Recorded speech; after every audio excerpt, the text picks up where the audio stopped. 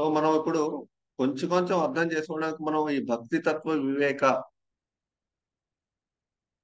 ఈ భక్తి తత్వ వివేక అనేది భక్తి ఠాకూరు భక్తి రసామృత సింధులోని మొదటి అధ్యాయం రెండో అధ్యాయం అంటే మొదటి అధ్యాయం మీద ఒక విశ్లేషణ చేసి ఆయన రాశారన్నమాట పుస్తకం. సో అందుకే ఈ పుస్తకం అంటే మనకి భక్తి తత్వం గురించి మనకు బాగా తెలిస్తే ఏ విధంగా మనం భక్తి మార్గంలో ముందుకు వెళ్ళాలని మనకు బాగా అర్థమవుతుంది.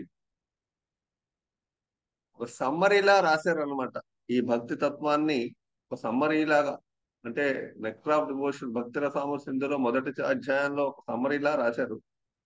దీంట్లో మనం జస్ట్ మనం మొదటి చాప్టర్లో విశ్లేషణ గురించి భక్తి తత్వాన్ని విశ్లేషణ గురించి తెలుసుకుంటున్నాం. ట్రై చేస్తున్నాం ఇది కొంచెం కొంచెం సిద్ధాంతపరంగా కూడా తత్వం కూడా ఎక్కువ ఉంటుంది. ఇక మీద ఏంటంటే మనం అన్ని కూడాను చిన్న చిన్న అంటే ఇప్పటి వరకు మనం కర్మయోగం జ్ఞానయోగం ఇలాంటి విషయాలు కొన్ని చూసాం. భక్తి తత్వం భక్తి యోగం అనేది ఒక అనంతమైన సముద్రం లాంటిది. ఈ కర్మయోగం జ్ఞానయోగం అన్ని కూడా ఒక దానికి లిమిటేషన్స్ ఉన్నాయి. భక్తి తత్వానికి భక్తి యోగానికి సరిహద్దులు లేవు. అందువల్ల ఈ యొక్క తత్వాన్ని మనం అర్థం చేసుకోవడానికి ప్రయత్నిస్తున్నాం కాబట్టి సో భక్తి తత్వాన్ని అర్థం చేసుకోవాలంటే మనం భక్తి తత్వ శాస్త్రాలను మనం అధ్యయనం చేయాలి. భక్తి తత్వం మీద ఉన్న శాస్త్రాలు శ్రీమద్ భాగవతం భక్తి రసాముల సింధు అలాగే గోస్వాములు చాలా భాష్యాలు రాశారు భక్తి తత్వం మీద. ఇవన్నీ కూడా ఒక అనంతమైన సముద్రంలా సముద్రంలా ఉంటాయన్నమాట మనకి. భక్తి తత్వం చాలా అనంతమైంది. భగవంతుడి భక్తి కూడా అనంతమైంది. అందువల్ల మనం వీటి గురించి మనం ఇంకా జస్ట్ ఒక అర్థం చేసుకోవడం ట్రై చేస్తున్నాం మనం. మనం భక్తి తత్వంలో పూర్తిగా మనం దిగిపోవట్లేదు మునిగిపోవట్లేదు. మనం అసలు భక్తి అంటే ఏమిటో ముందు ఫస్ట్ భక్తి అంటే ముందు తెలుసుకుంటున్నాం మనం. అదనమాట భక్తి ఏంటంటే మనం తెలుసుకుంటున్నాం. ఇవన్నీ ఎందుకు చెప్తున్నాం డిస్కస్ చేస్తున్నాం అంటే మనం మూడు నాలుగేళ్ళ బట్టి మనం ఈ యొక్క భగవద్గీత భాగవతం క్లాసులు వినడం అన్ని చేస్తున్నాం. ఈ భక్తి అదేమిటిది ఈశోపనిషత్తు నెక్టర్ ఆఫ్ ఇన్స్ట్రక్షన్ అవన్నీ విన్నాం.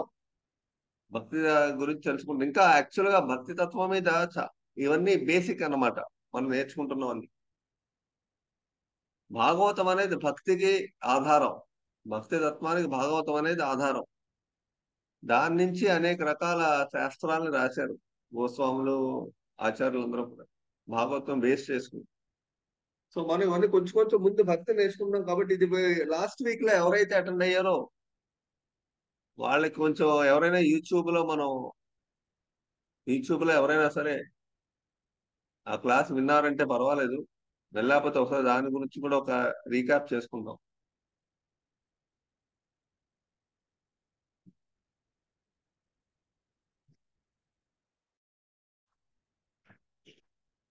ఓకే.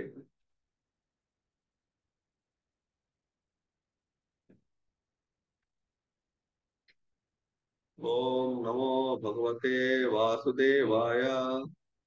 ఓం నమో భగవతే వాసుదేవాయ ఓం నమో భగవతే వాసుదేవాయ ఓం అజ్ఞానతిమిరాంధస్య జ్ఞానాంజనాశలాకయ చక్షుర్మిలితం యేన తస్మై శ్రీ గురవే నమః శ్రీ చైతన్య మనోభీష్టం స్థాపితం ఏన భూతలే స్వయం రూపకదా మహ్యం దదాతి స్వపదాంతికం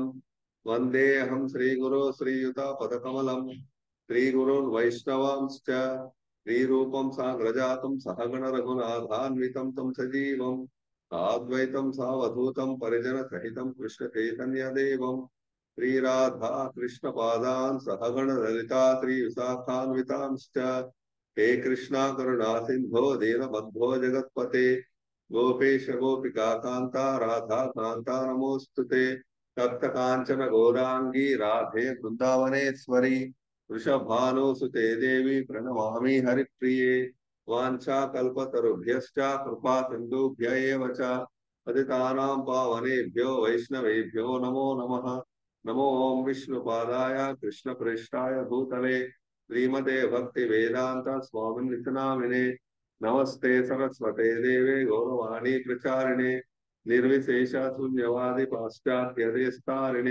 భూతలే శ్రీమతే భక్తి వేదాంత స్వామి నితనామినే నమస్తే సరస్వతే దేవే గౌరవాణి ప్రచారిణే నిర్విశేష శూన్యవాది పాశ్చాత్య దేస్తారిణే జయ శ్రీకృష్ణ చైతన్య ప్రభు నిత్యానంద శ్రీ అద్వైత గదాధర శ్రీవాసాతి గౌరభక్త బృంద హరే కృష్ణ హరే కృష్ణ కృష్ణ కృష్ణ హరే హరే హరే రామ హరే రామ రామ రామ హరే హరే ముఖం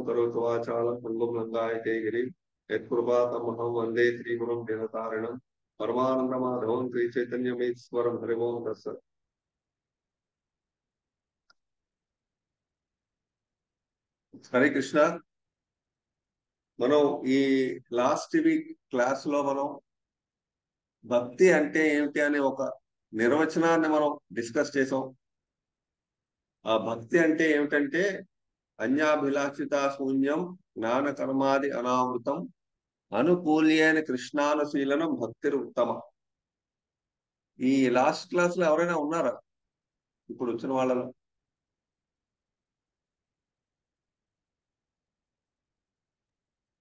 నేను ప్రభు చాలా కాలం అయిపోయినట్టు విన్నట్టు గుర్తు కూడా లేదు నాకు. ఏమంటారు? చాలా కాలం అయిపోయింది వినలేదు విన్- విన్నాను లేదు గుర్తు లేదు అంటున్నాను.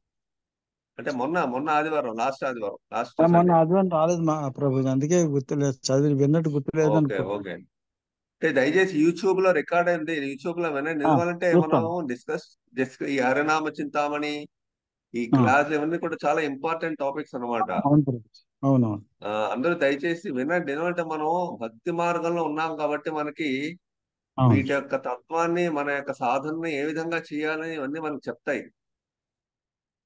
అందువల్ల మనం మా ఏదో మనం ఏదో కాసేపు భగవద్గీత చదివేస్తున్నాం కాసేపు చాంటింగ్ చేసేస్తున్నాం అనే కాదు. అసలు మనకి యాటిట్యూడ్ ఎలా ఉండాలి?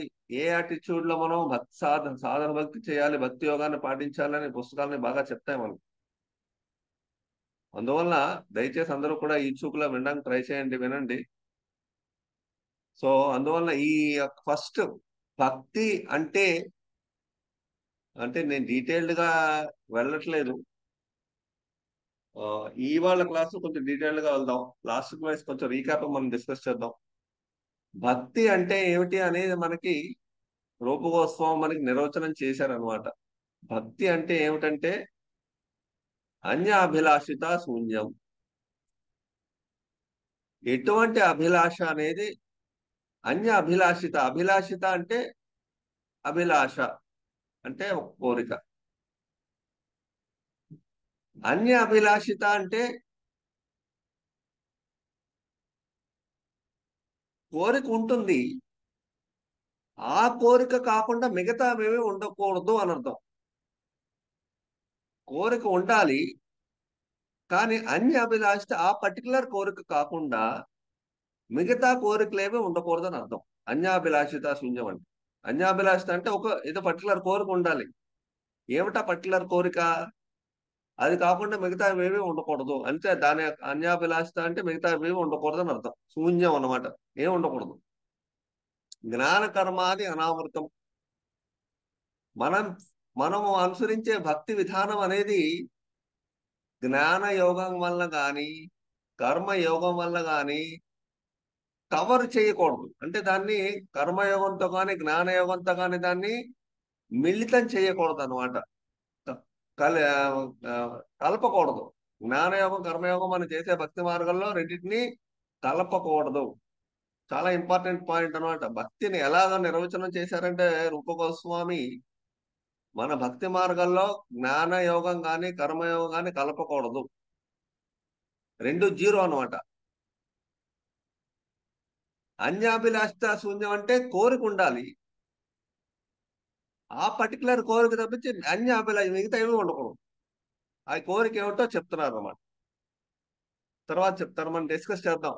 దాని గురించి ఇప్పుడు ఇవాళ క్లాసులో అన్యాభిలాషిత శూన్యం గురించి డిస్కస్ చేస్తాం. జ్ఞాన తర్వాత మీ టైం ఉంటే జ్ఞాన కర్మాధనావర్తం డిస్కస్ చేద్దాం. లేకపోతే నెక్స్ట్ వీక్లో డిస్కస్ చేద్దాం. ఈ ఈ యొక్క శ్లోకాన్ని భక్తులు ఎవరు? రూపగోస్వామి మూడు రకాలుగా విభజించారు. అంటే రెండు రకాలుగా యాక్చువల్గా చెప్పాలంటే రెండు రకాలుగా విభజించారు. ఉత్తమ భక్తి అంటే ఏమిటి? ఉత్తమ భక్తి అనేది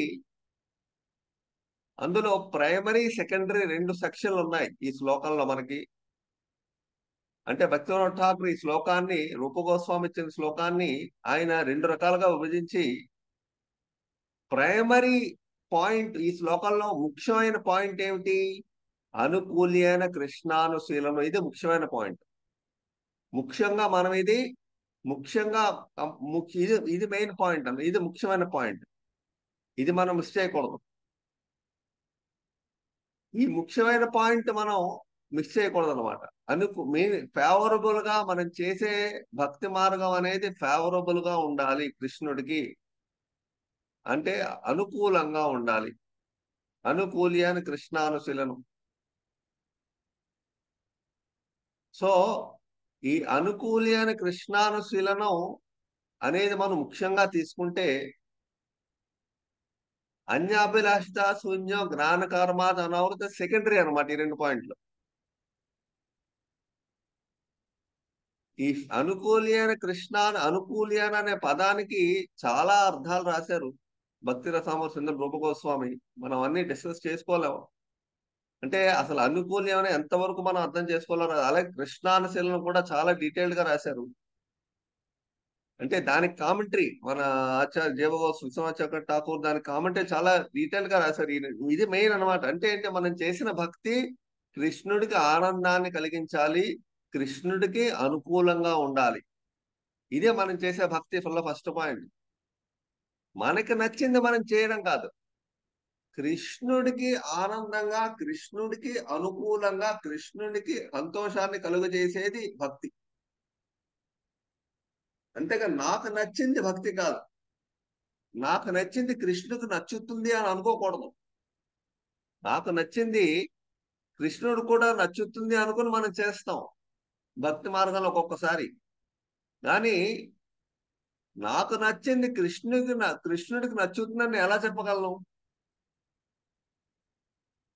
అందువల్ల మనం ఏం చేయాలి? శాస్త్రాలను మనం ఆచార్యులు రాసిన శాస్త్రాలను మనం అర్థం చేసుకుంటే కృష్ణానుశీలనం ఏ విధంగా మనం పాటించాలో మనకు తెలుస్తుంది.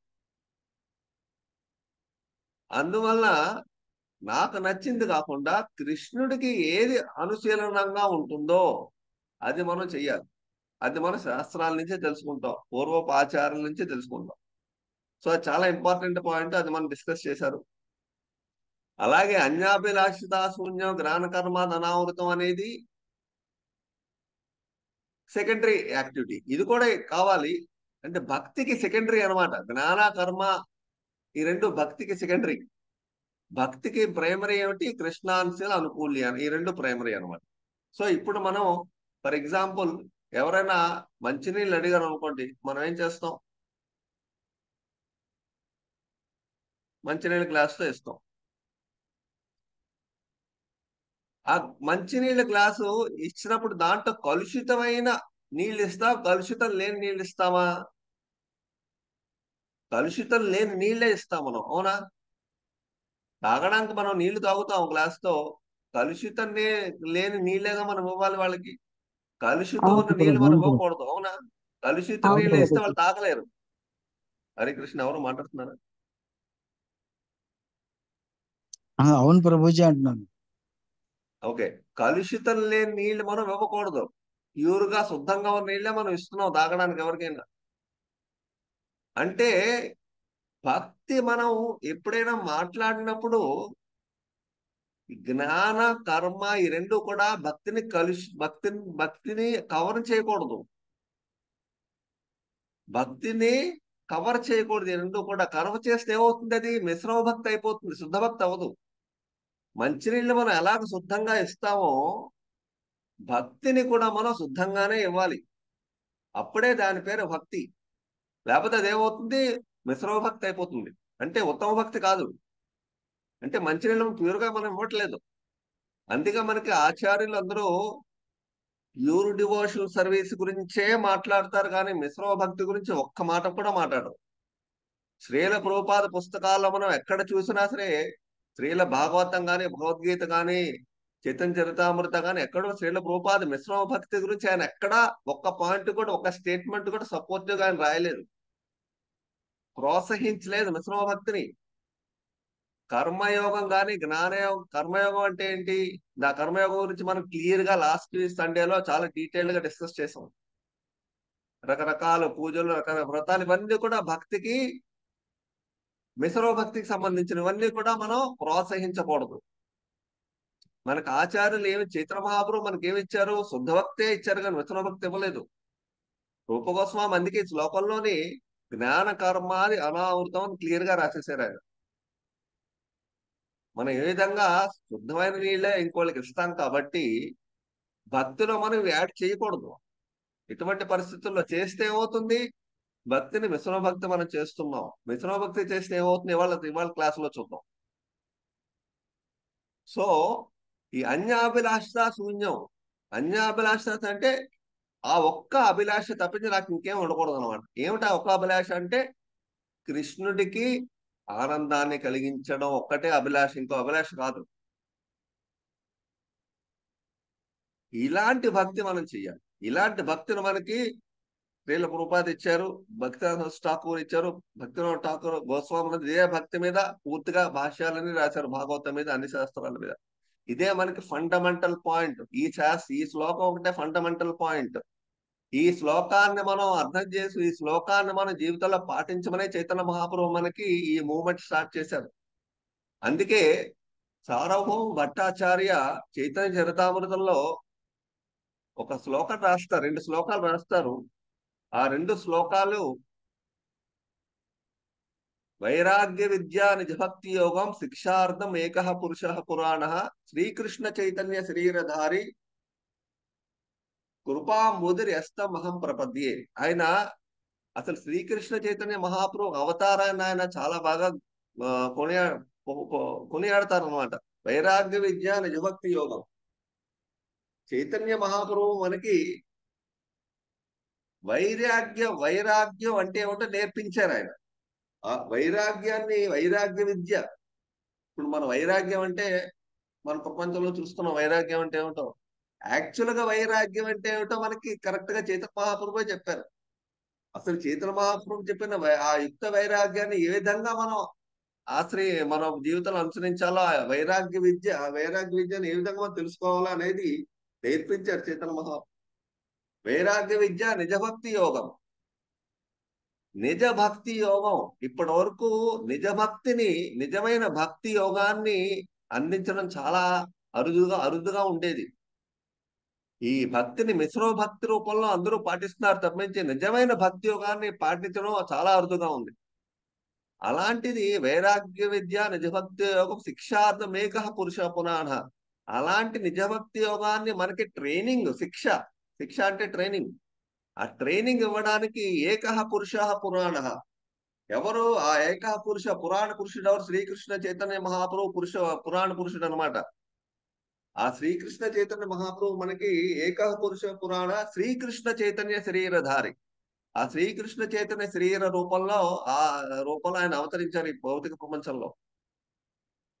కృపాంబుది ఆయన పాదాలను నేను నిరంతరం ఆయన ఆశ్రయిస్తూనే ఉంటాను నేను. ఆయన పాదాలే నాకు శరణ్యం. ఆయన పాదాలు అనేవి చాలా కరుణ కరుణామూర్తి అంటే చైత్ర మహాప్రభు యొక్క పాదాలు ఆశ్రయిస్తే ఆశ్రయించడం అనేది చాలా ఇంపార్టెంట్ ఎందుకంటే ఆయన కరుణా హృదయం కాబట్టి. సో ఓషన్ ఆఫ్ కంపాషన్ అనమాట చైతన్య మహాప్రభు. సో ఆ విధంగా మనకి భక్తి యోగాన్ని చైతన్య మహాప్రభు గోస్వాముల ద్వారా తర్వాత ఆచార్యుల ద్వారా అందుకే ప్రభుపాద పుస్తకాలు ఎక్కడాను ఎటువంటి పూజలు వ్రతలు ఎక్కడా ఆయన ఒక్క స్టేట్మెంట్ మనకు కనబడదు. ఎందుకు? ఎందుకు కనబడుతుంటే ఏది అసలు భక్తి అంటే ప్యూర్.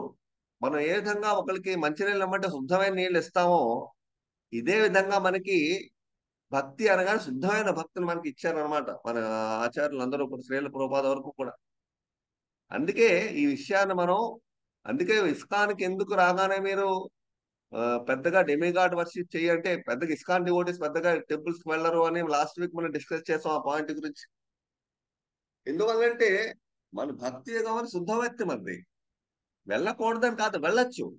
కాకపోతే ఏమిటంటే ఆ ఆ యొక్క దేవతల నుంచి మనం ఏది కోరుకోం అనమాట అన్ని డెమిగాడ్ టెంపుల్స్కి వెళ్ళొచ్చు అన్ని చేయొచ్చు అన్ని అన్ని చేసుకోవచ్చు. బట్ వాళ్ళ నుంచి మనం ఎటువంటి కోరిక కోరం. ఎందుకు అంటే ఎందుకు అని మనం లాస్ట్ వీక్లో డిస్కస్ చేసాం. సో ఈ- అందుకే లాస్ట్ వీక్ క్లాస్ కూడా వినండి. ఇప్పుడు డీటెయిల్గా మనం డిస్కస్ చేయడానికి మనకు టైం లేదు. ఇవాళ శ్లోకం గురించి డిస్కస్ చేద్దాం. ఇవాళ టాపిక్ గురించి. సో ఈ అది యాక్చువల్లీ ఈ యొక్క డెఫినేషన్ ఈ యొక్క శ్లోకం యొక్క డెఫినేషన్ అనమాట ఇప్పుడు మనం లాస్ట్ వీక్లో రకరకాల పాయింట్లు డిస్కస్ చేసాం. ఉత్తమ భక్తి అంటే ఏమిటంటే త్రిగుణాలకు అతీతంగా ఉంటే ఉత్తమ భక్తి అనేది భౌతిక లక్షణాలు ఏవో కూడా ఉత్తమ భక్తిలో ఒక్క ఒక్క పర్సెంట్ కూడా ఉండకూడదు. అదే ఉత్తమ భక్తిని మనం ఏమంటాం? నిర్మల భక్తి నిర్గుణ భక్తి కేవల భక్తి అమిశ్రా భక్తి అకించన భక్తి. రకరకాల పేరు ఉత్తమ భక్తిని పిలవడం జరిగింది.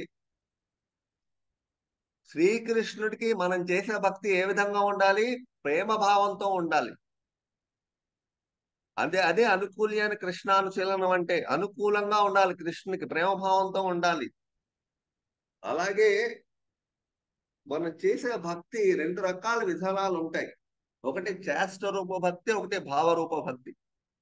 చేష్ట రూప భక్తి అంటే ఏమిటంటే మన ఇంద్రియాలను ఉపయోగించి మనం భక్తి మార్గంలో ఇప్పుడు మనం సాధన చేస్తున్నాం. ఏమిటా ఇంద్రియాలు? కన్ను ముక్కు చెవి నాలుక చర్మం. ఈ ఐదు ఇంద్రియాలని మనం ఉపయోగించి మనం భక్తిలో పాల్గొంటున్నాం. ఐదు ఇంద్రియాలతో మనం చేసేది మన మనస్సుతో మన మనసును ఉపయోగించి ఐదు ఇంద్రియాలను ఉపయోగించి మనం చేసేది చేష్ట రూప భక్తి. ఈ చేష్ట రూప భక్తి ఎందుకు చేస్తున్నామంటే మనం భావ భావ అంటే ఈ తొమ్మిది దశలు మనకు తెలుసు కదా.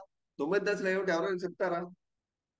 భక్తిలో తొమ్మిది దశలు ఉన్నాయని మనం చాలా సార్లు మన మాధవ్ గారు చాలా క్లాసుల్లో చెప్పిన ఎక్స్ట్రా క్లాసుల్లో చెప్పారు. తర్వాత మనకు చాలా మంది చాలా క్లాసుల్లో మీరు చాలా లెక్చర్లు వినే ఉంటారు అన్ని చోట్ల భక్తిలో ఉన్న తొమ్మిది దశలు. శ్రద్ధ సాధుసంగ చెప్పండి. భజన భజన క్రియ. తర్వాత శ్రద్ధ సాధంగా భజన క్రియ అని అని అనర్ధనివృత్తి. అనర్థ నివృత్తి. తర్వాత? భావ ప్రేమ భావ భావ మధ్యలో మధ్యలో నిష్ట కూడా నిష్ట కూడా నిష్ట. నిష్ట. భావ ప్రేమ. నిష్ఠాకి భావకి మధ్యలో రెండు స్టేజ్లు ఉంటాయి.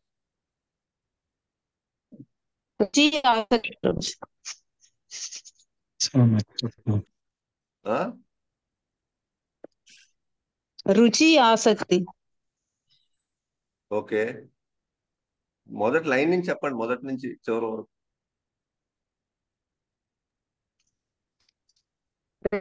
కృష్ణ శ్రద్ధ సాధు సంగ భజన క్రియ అర్ధ నివృత్తి నిష్ట రుచి ఆసక్తి భావ ప్రేమ. ఓకే తొమ్మిది దశలు ఉన్నాయి. సో మనం మొదటి దశలో శ్రద్ధ సాధుసంగ భజన క్రియ.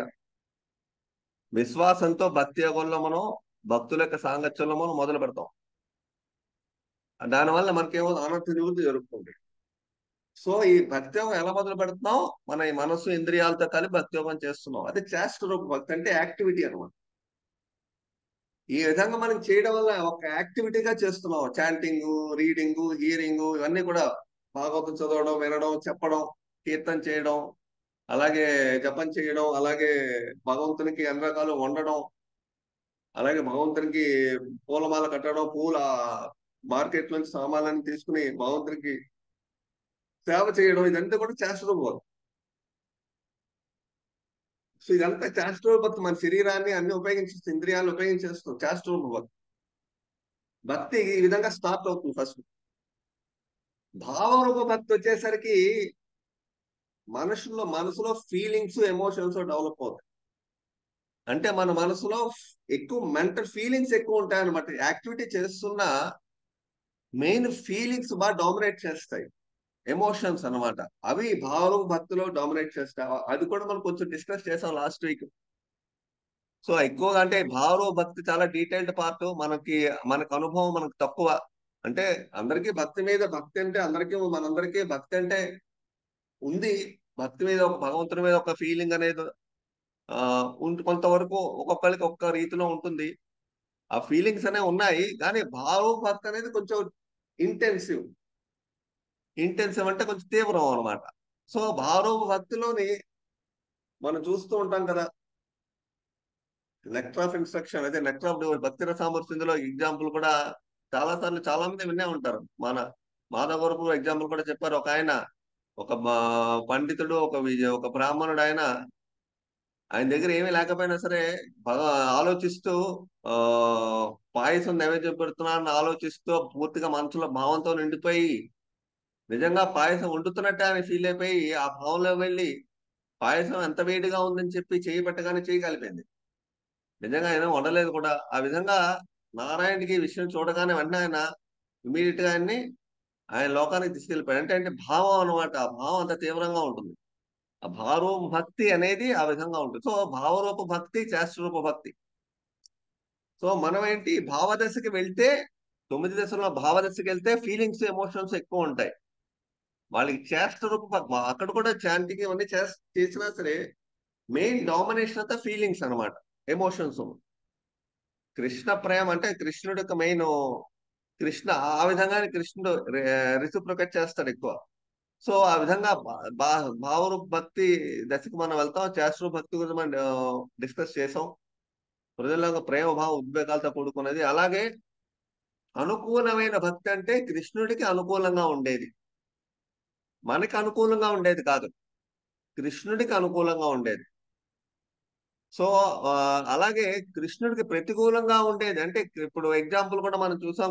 కంసుడు కృష్ణుడి గురించి ఆలోచించినా సరే కృష్ణుడికి ప్రతికూలంగా ఉండడం వల్ల కంసుడు కృష్ణ ఎవరైతే కృష్ణుడి గురించి ఆలోచిస్తూ ఉంటారో వాళ్ళని భక్తుల కింద మనం భావిస్తాం. కానీ ఇక్కడ ఏమైంది? కృష్ణు గురించి ఇరవై ఇరవై నాలుగు గంటలు కంసుడు శిశువాళ్ళు ఇద్దరు కృష్ణుడు గురించి ఆలోచిస్తూనే ఉన్నారు. కాకపోతే వాళ్ళు ప్రతికూలంగా ఆలోచించారు. వాళ్ళు భక్తులుగా మనం పిలవట్లేదు. అలాగే కృష్ణుడి యొక్క రూపానికి విష్ణు రూపాలకి నరసింహ రూపాలకి ఉన్న తేడా ఏమిటో కూడా డిస్కస్ చేసాం. అది కూడా అలాగే కృష్ణుడి యొక్క భక్తులు అంటే హనుమాను ఇలాంటి వాళ్ళు అలాంటి వాళ్ళకి శుద్ధ భక్తి కృష్ణుడి యొక్క శుద్ధ భక్తి అంటే ఏమన్నా ఆ భక్తి అనేది హనుమాను ఇలాంటి వాళ్ళు కూడా అప్లై అవుతుందని అర్థం. భగవంతుడి యొక్క భక్తులు కూడా ఆ యొక్క కేటగిరీ కృష్ణానుశీలం కేటగిరీలో వస్తారు. హనుమాన్ కూడా వస్తారు అన్నమాట అలాగే ఎవరికైతే విష్ణు రూపం కానీ నరసింహ రూపం రామ రూపం గాని భక్తి చేస్తూ చేయొచ్చు. ఈ కృష్ణానుశీలనం అనేది కృష్ణ ఒకళ్ళే కాదు. కృష్ణుడు యొక్క ఏ రూపానికైనా సరే మనం కృష్ణానుశీలనాన్ని మనం వర్తింపజేయచ్చు అనమాట కృష్ణానుశీలం అంటే కృష్ణుని చేస్తేనే కృష్ణానుశీలనం కాదు. విష్ణు నారాయణుడు గాని రాముడు గాని నరసింహుడు గాని వామనుడు గాని ఎవరికైనా మనం కృష్ణానుశీలనం మనం అప్లై చేయొచ్చు.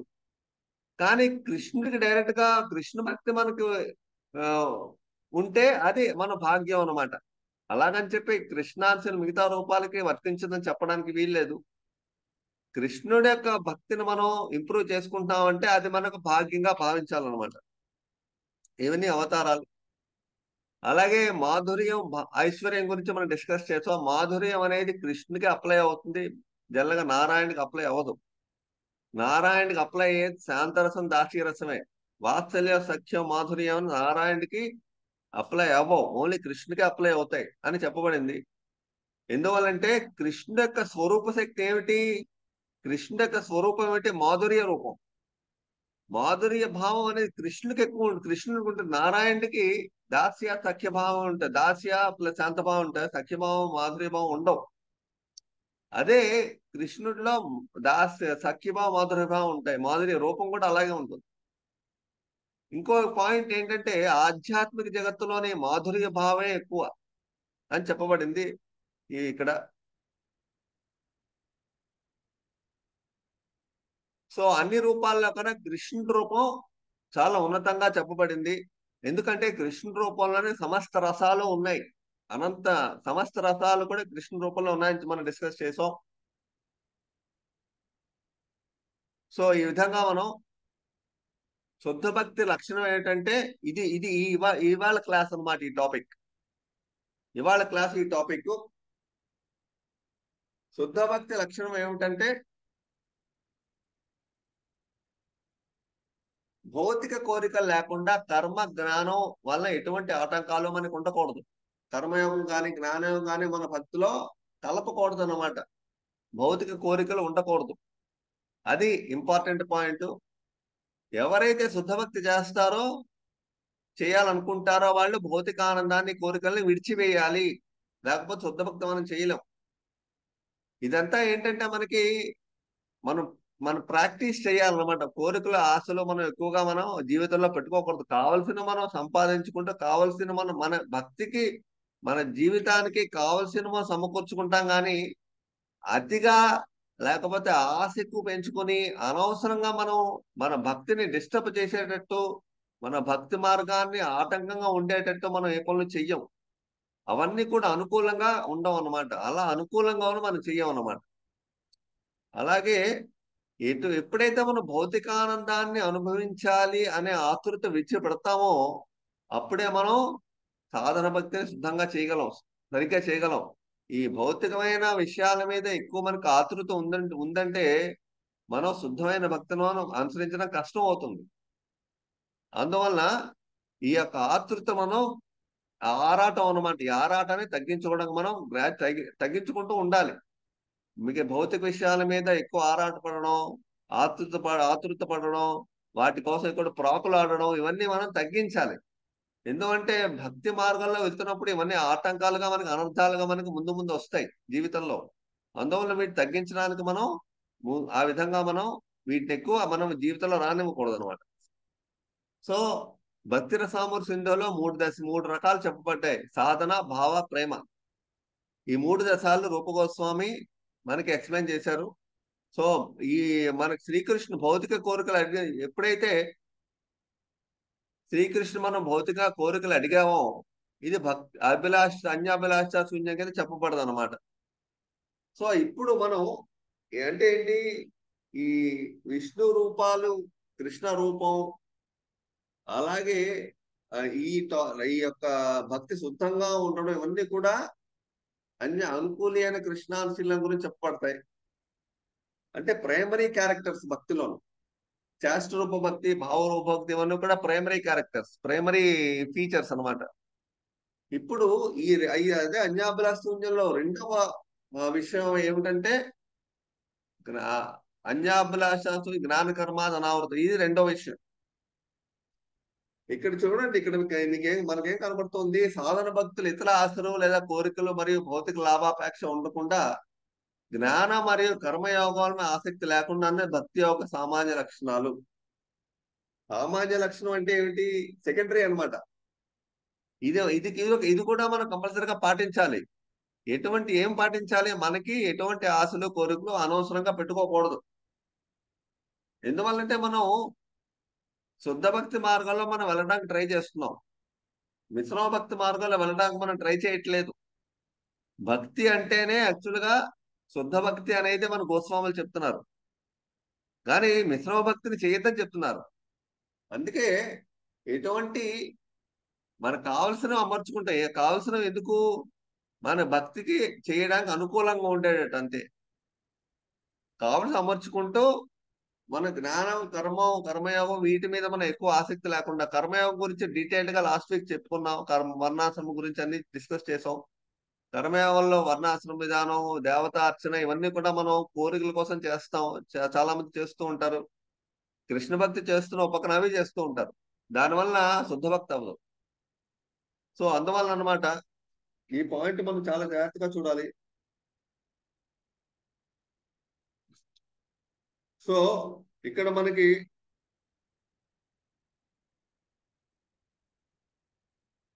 మనం ఏం నేర్చుకోవాలి? ఈ యొక్క అన్యాభిలాషిత శూన్యం అంటే ఏ ఒక్క ఆ ఒక్క కోరిక ఒక్క కోరిక అంటే కృష్ణుని మనం ఆ సంతోషింపజేయ కృష్ణ ఆనందాన్ని కలిగించాలి. ఆ విధమైన కోరిక తప్పించి ఇంకే విధమైన కోరిక మనకు ఉండకూడదు.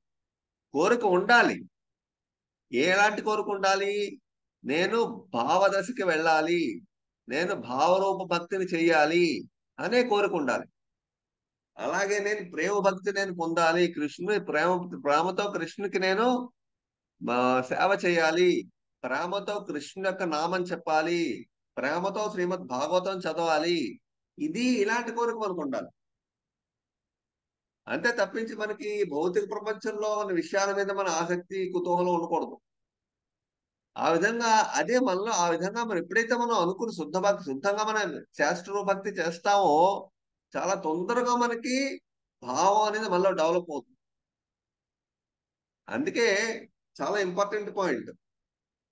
మన ఈ భౌతిక విషయాల మీద మైండ్ పెట్టామా ఇవి లాగేస్తాయి. అందుకే ఇక్కడ ఏమన్నారంటే భౌతిక విషయాల గురించి ఇక్కడ లాస్ట్ లాస్ట్ పాయింట్ చూద్దాం చూద్దాం. భౌతిక లాభాపేక్ష లేకుండా భౌతికమైన ఆశల కోసం ఆరాటపడిన వీటి సాధన అనుసరించి వాని హృదయం వాస నిర్మించబడుతుంది దీని గురించి ఏమన్నారంటే ఒక పిశాచి కింద పోల్చారు పోల్చారనమాట ఈ భౌతికమైన ఒక ఇక్కడ మనం డిస్కస్ చేద్దాం భౌతిక భౌతికమైన కోరికలు ఎలా ఉన్నాయో అక్కడ మనం నెక్స్ట్ మనం డిస్కస్ చేద్దాం. భౌతికమైన కోరికలు అంటే ఏమిటి? మన శరీరం మన మనసు ద్వారా అనుభవించే ఆనందం. మన శరీరం మరియు మనసు ద్వారా అనుభవించే ఆనందం. ఏమిటా అనుభవించే ఆనందం? నాకు ఆరోగ్యమైన శరీరాన్ని కోరుకో కోరుకో కోరుకుంటాం. ఆరోగ్యమైన శరీరం కావాలి. ఎందుకు ఆరోగ్యమైన శరీరం కావాలంటే ఎంజాయ్ చేయడానికి. శారీరక శారీరక సుఖాన్ని అనుభవించడానికి ఆరోగ్య శరీరం కావాలి. ఆరోగ్య శరీరం కావాలనుకుని భగవంతుని సేవలో ఉపయోగించాలని అనుకుంటే అది అలా అనుకోలే. అలా అది అది తప్పు కాదు. ఆరోగ్య శరీరం ఎందుకు? అంటే బాగా అనుభవించడానికి జీవితంలో అదే ఆరోగ్య శరీరం కావాలని కోరుకుంటాము. అది మళ్ళీ భౌతిక సుఖం అది. అలాగే మంచి హా మంచి ఆహారాన్ని స్వీకరించాలి అనుకుంటాం అనుభవించాలి అనుకుంటాం. అంటే మంచి ఆహారాన్ని మనం అనుభవించాలని మనలో కోరుకుంటుంది. అది ఏమిటంటే మంచి ఆహారం అనుభవించాలని అంటే మన సెన్స్ గ్రాటిఫికేషన్ అన్నమాట. మంచి ఆహారం ఎందుకు తీసుకుంటాం? ఆరోగ్యంగా ఉండడానికి. మా ఆరోగ్యంగా ఉంటే మనం భక్తి మార్గంలో బాగా ప్రాక్టీస్ చేయడానికి మనకి ఆటంకాలు ఎక్కువ హెల్త్ ప్రాబ్లం క్రియేట్ చేయదు. మంచి ఆహారం మనల్ని ఆరోగ్యంగా ఉంచుతుంది దానిలో హెల్త్ ప్రాబ్లం క్రియేట్ చేయదు మనకి డివోషన్ సర్వీస్లో లేకపోతే ఏమవుతుంది? మంచి ఆహారం తీసుకోకపోతే హెల్త్ డౌన్ అవుతుంది. మనం సరిగ్గా చేయలేము. అలాగే మంచి ఆహారం మంచి రుచికరమైన ఆహారాన్ని స్వీకరించాలని కోరుకు కోరికని మనం మన సెన్సెస్ గ్రాటిఫికేషన్ కోసం ఉపయోగిస్తే అది భౌతికమైన కోరిక అవుతుంది. మన ఇంద్రియ తృప్తి అనమాట అలాగే దృఢమైన శరీరం కావాలని మనం దృఢంగానే ఉండాలి అని కోరుకుంటాం. ఇవన్నీ కూడా ఏమవుతాయి? ఇవన్నీ ఏంటి? భౌతికమైన సుఖాలు అనమాట ఐశ్వర్యం ఉండాలి. అందమైన భవనంలో ఉండాలి నేను. అందమైన భార్య ఉండాలి నాకు. అలాగే విజయాన్ని సాధించాలనే కోరిక నాలో నేను చేసే పనుల్లో నాకు విజయం ఎప్పుడు విక్టరీ నేను చేసే పనుల్లో ఎప్పుడు నాకు విక్టరీ కాదు చదువులో కానీ ఉద్యోగంలో కానీ డబ్బు సంపాదనలో కానీ ఆఫీసులు కానీ ప్రమోషన్ అన్ని రకాలుగా నాకు విజయ విక్టరీ ఉండాలని కోరిక అనమాట సంతానం ఎప్పుడు మంచి సంతానం కలగాలని కోరిక మనకి ఏ ఉంటే అదే కలుగుతుంది మన జీవితంలో. మన కర్మ ప్రకారం మనకి ఏది రాసి ఉంటే అదే వస్తుంది మనకి జీవితంలో. అది మనం తప్పించలేం. అది అది మనం యాక్సెప్ట్ చేస్తాం అంతే. ఏది ఇస్తే మనం వాళ్ళని యాక్సెప్ట్ చేయడమే. భగవంతుడు ఏది ఇస్తే అది యాక్సెప్ట్ చేయడమే. అంతే తప్పించి మనం అతి అతిగా కోరికలు కోరుకోకూడదు. అలా కీర్తి ప్రతిష్ట ప్రతిష్టలు కావాలి. సంఘంలో ఉన్నతమైన స్థానం నాకు కావాలి. అందరూ నన్ను ఏమొచ్చి బాగా మంచి బాగా మంచి పెద్దవాడి కింద మంచి ఉన్నతమైన వాళ్ళకి అందరిని గుర్తించాలి. సొసైటీలో నాకు పేరు ప్రతిష్టలు కావాలి. అందరూ నన్ను కీర్తించాలి నన్ను పొగడాలి ఇలాంటివి అనమాట అలాగే బ్రాహ్మణ మంచి బ్రాహ్మణుగా నేను జన్మ ఎత్తాలి. మహారాజు కింద జన్మ ఎత్తాలి. అలాగే స్వర్గలోకం వెళ్ళాలి బ్రహ్మలోకం వెళ్ళాలి. అష్టసిద్ధులు పొందాలి. ఇవన్నీ కూడా భౌతికమైన సుఖానందాలు. వీటి వల్ల మళ్ళీ ఏమవుతుంది? కామ క్రోధ లోభమోహ మదం ఆశ్రమంలో డెవలప్ అవుతాయి మనల్ని డిగ్రేడ్ చేస్తాయి ఇవన్నీ కూడా. అలాంటి ఇవన్నీ కూడా మనకి అందుకే చెప్తున్నారు. అన్యాభిలాషిత శూన్యం. అంటే దాని అర్థం ఇదే. ఇటువంటి ఇటువంటి కోరికలు ఉండకూడదు. చాలా మంది అడుగుతారు. అదేంటి? ఏ కోరిక లేకుండా మనం ఎలా జీవించాలి? చాలా మంది ఈ- చాలా కుసులు వేస్తారు. ఏ కోరిక లేకుండా మనం ఎలా జీవిస్తాం? మనిషి అన్న మనిషి అన్న తర్వాత కోరికలే ఉండకూడదా? కోరిక మనిషికి రాయా? లేకపోతే మనిషి ఏమిటి రాయలాంటి లాంటి హృదయమా? లేకపోతే స్టోన్ హార్టెడ్ పర్సన్ హృదయంలో ఒక కోరిక ఒక మనిషి మనిషా రాయ అని చెప్పి చాలా మంది మనం అంటుండ చూస్తూ ఉంటాం. కోరికలు ఉండాలి. ఐశ్వర్యం ఉండొచ్చు. ఐశ్వర్యం కావాలని పెంచుకో. ఐశ్వర్యం భగవంతుడి సేవలు ఉపయోగించాలని ఉండాలి. కుచేలుడికి కృష్ణుడు అందమైన భవనం కానీ అనంతమైన ఐశ్వర్యాన్ని ఇచ్చాడు. జస్ట్ ఒక సెకండ్లో కానీ కుచేలు ఏం చేశాడు? అంత అందమైన భవనం అంత ఐశ్వర్యాన్ని భగవంతుని సేవలో ఉపయోగించాడు. కానీ ఎప్పుడే అటాచ్మెంట్ లేకుండా ఉన్నాడు. సో అందమైన భవనంలో ఉన్నా సరే భగవంతుని సేవలో ఉపయోగించాలి ఆ భవనాన్ని కూడా మన ఐశ్వర్యాన్ని కూడా. అందమైన భార్య అందమైన భార్య ఉన్నా భగవంతు సేవలో ఉపయోగించాలి. అందరికీ ఫ్యామిలీ మొత్తం భగవంతు సేవలో ఉంటే ప్రాబ్లం ఉండదు. అలాగే విజయం సాధించాలంటే మనకు వచ్చిన విజయం వల్ల అది భగవంతుని సేవకి దాన్ని డైవర్ట్ చేయాలి.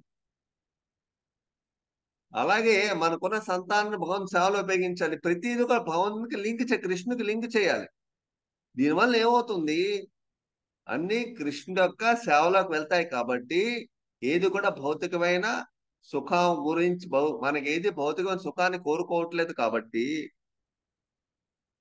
అందువల్ల అన్ని కూడా కృష్ణుడికి లింక్ చేస్తున్నావు కాబట్టి అన్ని కూడా ఆధ్యాత్మిక భౌతికం అవ్వవు. ఇదే డిఫరెన్స్. అందుకే మనం ఫైలు ఫైలుగు వైరాగ్యం అంటే దుక్త వైరాగ్యం అంటే మనం ఇప్పుడు డిస్కస్ చేస్తాం. సో ఈ విధంగా ఈ యొక్క ఇది అయితే అనమాట సో ఇలాంటి కోరికలు మనకు ఉన్నాయి అంటే ఇలాంటి కోరికలు ఉన్నాయంటే మళ్ళా ఏముందంట? పిశాచి అనేది ఉందని భక్తి రసామ మనకు చెప్తోంది. ఏం చెప్తోంది మనకి? ఇలాంటి కోరికలు మళ్ళా ఉన్నాయంటే చూడండి ఇక్కడ కారు అన్ని రకాల వస్తువులు ఆనందించాలని రకరకాలు అనుకుంటారు మనుషులు. ఇవన్నీ అంటే మన హృదయంలో పిశాచి అనేది ఉంది. ఆ పిశాచి ఉండడం వల్ల హృదయంలో నిజమైన కృష్ణ భక్తి యొక్క ఆధ్యాత్మిక ఆనందం మనలో కలగదు. మన హృదయంలో ఎలాంటి పిశాచి ఉంటే మళ్ళా ఆధ్యాత్మికంగా ఎలా కలుగుతుంది కలగదు. ఆ భక్తి యొక్క ఆనందాన్ని మనం అనుభవించలేము. మన హృదయంలో పిశాచి ఉండడం వల్ల. ఆ పిశాచిని మనం ఈ యొక్క పిశాచిని ఇవన్నీ కూడా పిశాచులే అంటే పిశాచి రూపాన్ని దాలుస్తాయి కాబట్టి ఇవన్నీ కూడా మనల్ని భగవంతుని యొక్క ఆనందాన్ని పొందడానికి ఆటంకంగా ఉంటాయి. అందువల్ల వీటిని మనం వదిలేయాలి. లేకపోతే మనకి నిజమైన ఆనందం నామంలో రుచి రాదు. నామంలో రుచి రాదు. నామం నిజమైన రుచి మనం పొందలేము సో అందువల్ల మనకి చాలా ఇంపార్టెంట్ ఇవన్నీ కోరికలు లేక మనం వదిలేసుకోవాలన్నమాట. వదిలేసుకుంటేనే మనం నిజమైన నామ యొక్క రుచి మనం చూడగలం. అందుకే రూపగోస్వామి ఏం చెప్పారు? శ్లోకం చెప్పారు. ఆయన ఏం చెప్తున్నారు? చాలా ఇంపార్టెంట్ పాయింట్ ఇది. ఎవరైతే సీరియస్గా కృష్ణ భక్తి మార్గాన్ని వదలకుండా ఉంటారో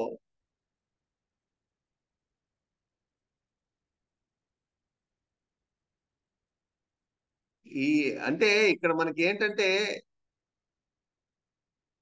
కొంతమంది మనలోని కోరుకుంది. ఒక అంటే మరీ తీ మళ్ళీ కోరుకుంది. ఆ కోరిక మీద మనం ఎక్కువగా పని చేయట్లేదు. ఆ కోరికను సాధించాలి అని మనం పూర్తిగా దాని మీద పూర్తిగా పని చేయట్లేదు. కాకపోతే ఆ కోరిక మనలో ఉంది. ఫర్ ఎగ్జాంపుల్ బాగా డబ్బు సంపాదించాలనే కోరిక మనలో ఉంది. ఆ కోరిక సంపాదించాలి బాగా డబ్బు సంపాదించిన కోరిక అనేది ఆ సంపాదించడం కోసం రాత్రి పొగళ్ళు ఆరాటపడి డబ్బు సంపాదనలో పడిపోతాం. అప్పుడు మనకి కృష్ణ భక్తిలో ఉన్న ఆధ్యాత్మిక ఆనందం మనకి రాదు. ఆ కోరిక ఉన్నా సరే దాని మీద ఎక్కువ ప్రాకులాడకుండా కృష్ణ భక్తి మనం చే చేయడానికి మనం ఆసక్తి పెంచుకుంటూ ఉంటున్నప్పుడు గ్రాడ్యువల్గా ఈ కోరిక కొన్నాళ్ళకి నశించిపోతుంది. ఉండదు. మనలో కోరికలు ఉండొచ్చు.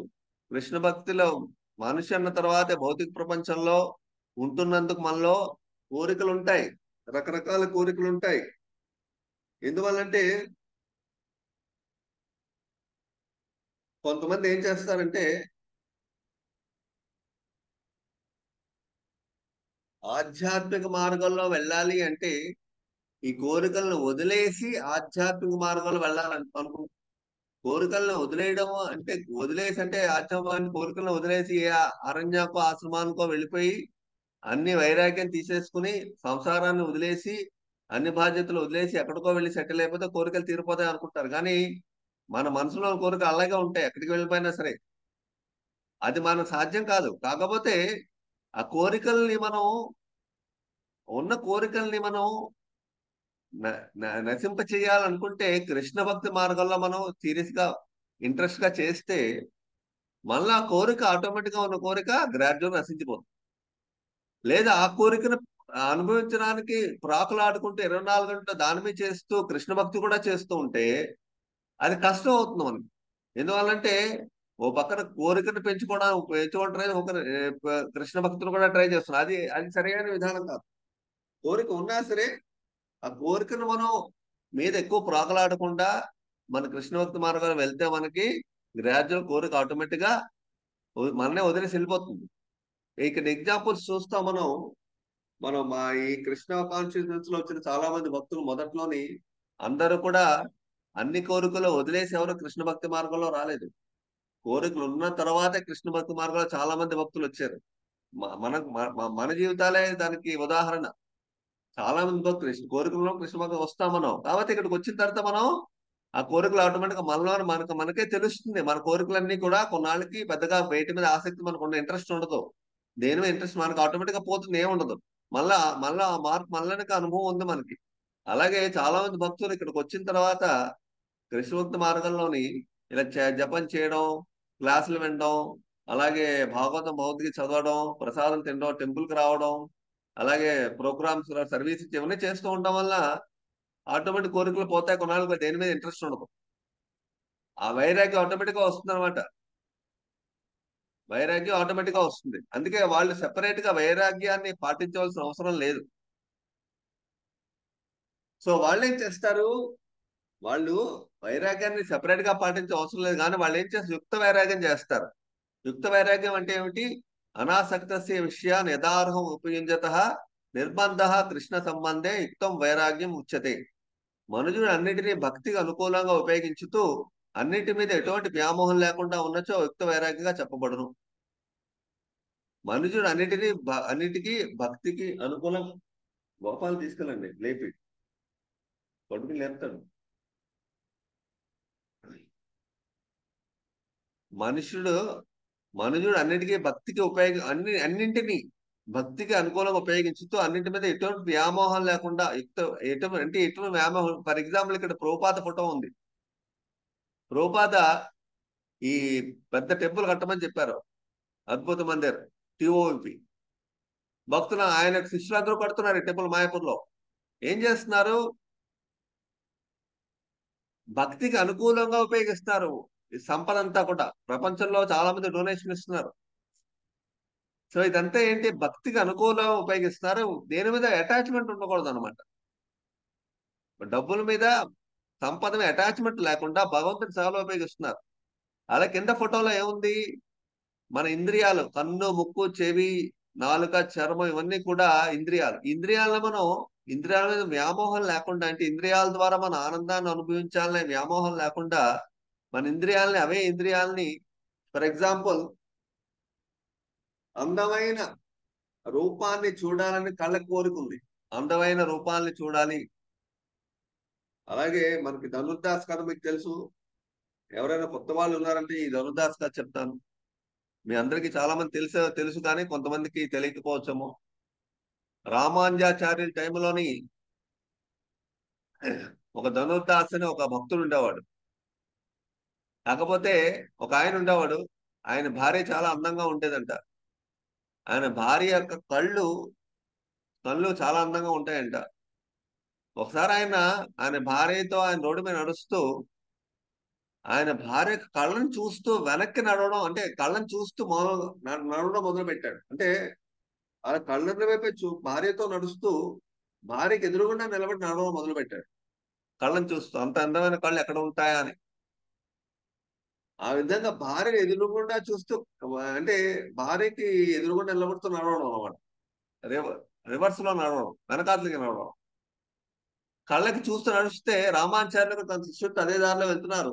వెంటనే పిలిచి వాళ్ళ శిష్యుడు ఏమిటి ఏం చేస్తున్నాడు ఇక్కడ? ఎందుకు ఏం చూస్తున్నాడు ఇక్కడ అంటే ఏ లేదు. భార్యకు అందమైన కళ్ళు అంత అందంగా ఉన్నాయి. అందువల్ల ఆ కళ్ళని చూస్తూ అలా వెనక్కి నడుస్తూ భార్యను కళ్ళు భార్యతో పాటు నడుస్తున్నాడు. ఓహో అంత అందంగా ఉన్నాయని చూస్తున్నాడా? ఓకే. అంత అందమైన కళ్ళ కన్నా ఇంకా అందమైన కళ్ళని చూపిస్తాను నేను. చాలా అందంగా ఉన్నాయని చెప్తున్నాడు భార్య యొక్క కళ్ళు. ఆ కళ్ళ కన్నా అందమైన ఇంకా అందమైన కళ్ళని చూపిస్తాను రామా అని చెప్పి ధనుదాస్కి వెళ్ళి అడుగుతారు. రామానుజాచార్య ఇంత అందమైన కళ్ళు ఇంకా అందమైన చూపిస్తా వస్తావా చూస్తావా అని. ధనుర్ధార అంటాడు ఆయన నా భార్య ఇంకా అందమైన కళ్ళు మీరు ఎక్కడ చూపిస్తారు. ఇంత నా అంటే స్త్రీ అందమైన కళ్ళు అనేవి చాలా అందంగా ఉంటాయని మనకి తెలుసు. సో ఇంకా అందమైన కళ్ళు చూపిస్తారా? చూపించండి. ఎక్కడ ఉన్నాయో చూ చూస్తానంటాడు. అప్పుడు స్వయంగా రామాచార్యులే తీసుకెళ్ళి రంగనాథ్ టెంపుల్లోకి తీసుకెళ్ళి రంగనాథుని యొక్క కళ్ళని అందమైన కమల రేకుల్లాంటి అంద- రంగనాథుని యొక్క కళ్ళని చూపిస్తారా చూడని. ఎప్పుడైతే గురువు యొక్క అనుగ్రహం ద్వారా ఆ యొక్క రంగనాథుడి యొక్క ఆ కళ్ళ నయనాన్ని చూస్తారో ఆ ధనుర్ధారి అంత అందమైన కళ్ళు చూడగానే ఆ యొక్క ఈ కామం అంటే అంద అందమైన కళ్ళు చూడాలి అంటే ఆ కోరిక అనేది నశించిపోయి అంటే ఆధ్యాత్మికమైన ఆ, దృష్టి ఆధ్యాత్మికమైన ఆ కన్నులు చూడడం వలన భౌతికమైన కోరిక నశించిపోయింది. దాంతో అంటే ఆ విధంగానే ఎప్పుడైతే మనం మన ఇంద్రియాలని ఆధ్యాత్మికంగా ఉపయోగిస్తామో భౌతికమైన కోరికలు ఆ ఇంద్రియాల ద్వారా అనుభవించే భౌతికమైన కోరిక మనలో నశించిపోతుంది. అందుకే శ్రీలు ప్రభుపాద ఏమన్నారంటే ప్రతిరోజు మీరు పొద్దున్న శృంగార హారతి శృంగార దర్శనం చేసుకోమన్నారు. శృంగార హారతి మార్నింగ్ ఏడుంపోకి టెంపుల్లో. ఎప్పుడైతే అందమైన రాధాకృష్ణ శృంగార హారతి మనం దర్శనం చేసుకుంటామో శృంగారమైన విగ్రహాలని దర్శనం చేసుకుంటామో అందంగా ఉన్న విగ్రహాలు దర్శనం చేసుకుంటామో ఆ రోజు మనకి భౌతికమైన అట్రాక్షన్స్ ఆ రోజు మీకు రాదు అన్నారు ఆయన ఎందుకంటే అంత అందంగా మీకు ఎక్కడ కనబడరని. సో ఎప్పుడైతే మనం అందమైన రాధాకృష్ణుని చూస్తామో భౌతికమైన ఆ- నాన్న మనకి అటాచ్ మనకి అట్రాక్ట్ అవ్వం అంత తొందరగా. అందువల్ల మన ఇంద్రియాలని మనం మన చెవి మన ముక్కు మన నాలుగు మన చర్మాల్ని భగవంతుని యొక్క క్లాసులు వినడానికి భగవంతుని యొక్క భాగవతం భగవద్గీత వినడానికి అలాగే మన ముక్కును ఏం చేస్తాం? భగవంతుని యొక్క పదార్థాలని ఆ కానీ నైవేద్య పెట్టిన పూలు కానీ మనం వాసన చూడడానికి అలాగే ప్రసాదం తినడానికి మన చేతులతో మన శరీరాన్ని భగవంతు సేవలు ఉపయోగించడానికి ఇవన్నీ చేయడం వలన మన ఆటోమేటిక్ ఇంద్రియాలు శుద్ధం అవుతాయి. ఇదే యాక్చువల్ యుక్త వైరాగ్యం అంటే. మనకున్న సంపద అంతా భగవంతుని సేవలో ఉపయోగించాలి. ఏది కూడా మన సంపద అనుకుంటాం కానీ మన సంపద ఏది కాదు. అని భగవంతుని యొక్క ప్రాపర్టీ. అంతే ఆయన ప్రాపర్టీ నిర్బంధే కృష్ణ సంబంధే. అన్నింటిని కూడా యుక్త వైరాగ్యం ఇది కూడా ఈ అన్నింటిని కూడా కృష్ణ సేవలో ఉపయోగించాలి. అన్ని నిర్బంధే కృష్ణ సంబంధే ఉక్త వైరాగ్యం వచ్చతే ఎవరైతే ప్రాపంచికతయా బుద్ధియా యథార్థం ఉపయోగించత మూక్ష పరిత్యాగో పలుగో వైరాగ్యం వచ్చతే ఈ శ్లోకం తప్పుగా ఉంది. ప్రాపంచికతయా బుద్ధి హరి సంబంధ వస్తున్న ముముష్టి పరిత్యాగో ఫలుగు వైరాగ్యం ఫలుగు గచ్చతే అలాగే కొంతమంది ఎవరి ఏవైతే భగవంతుడి సేవలో మనం ఉపయోగిస్తామో వాటిని మనం వద్దంటాం.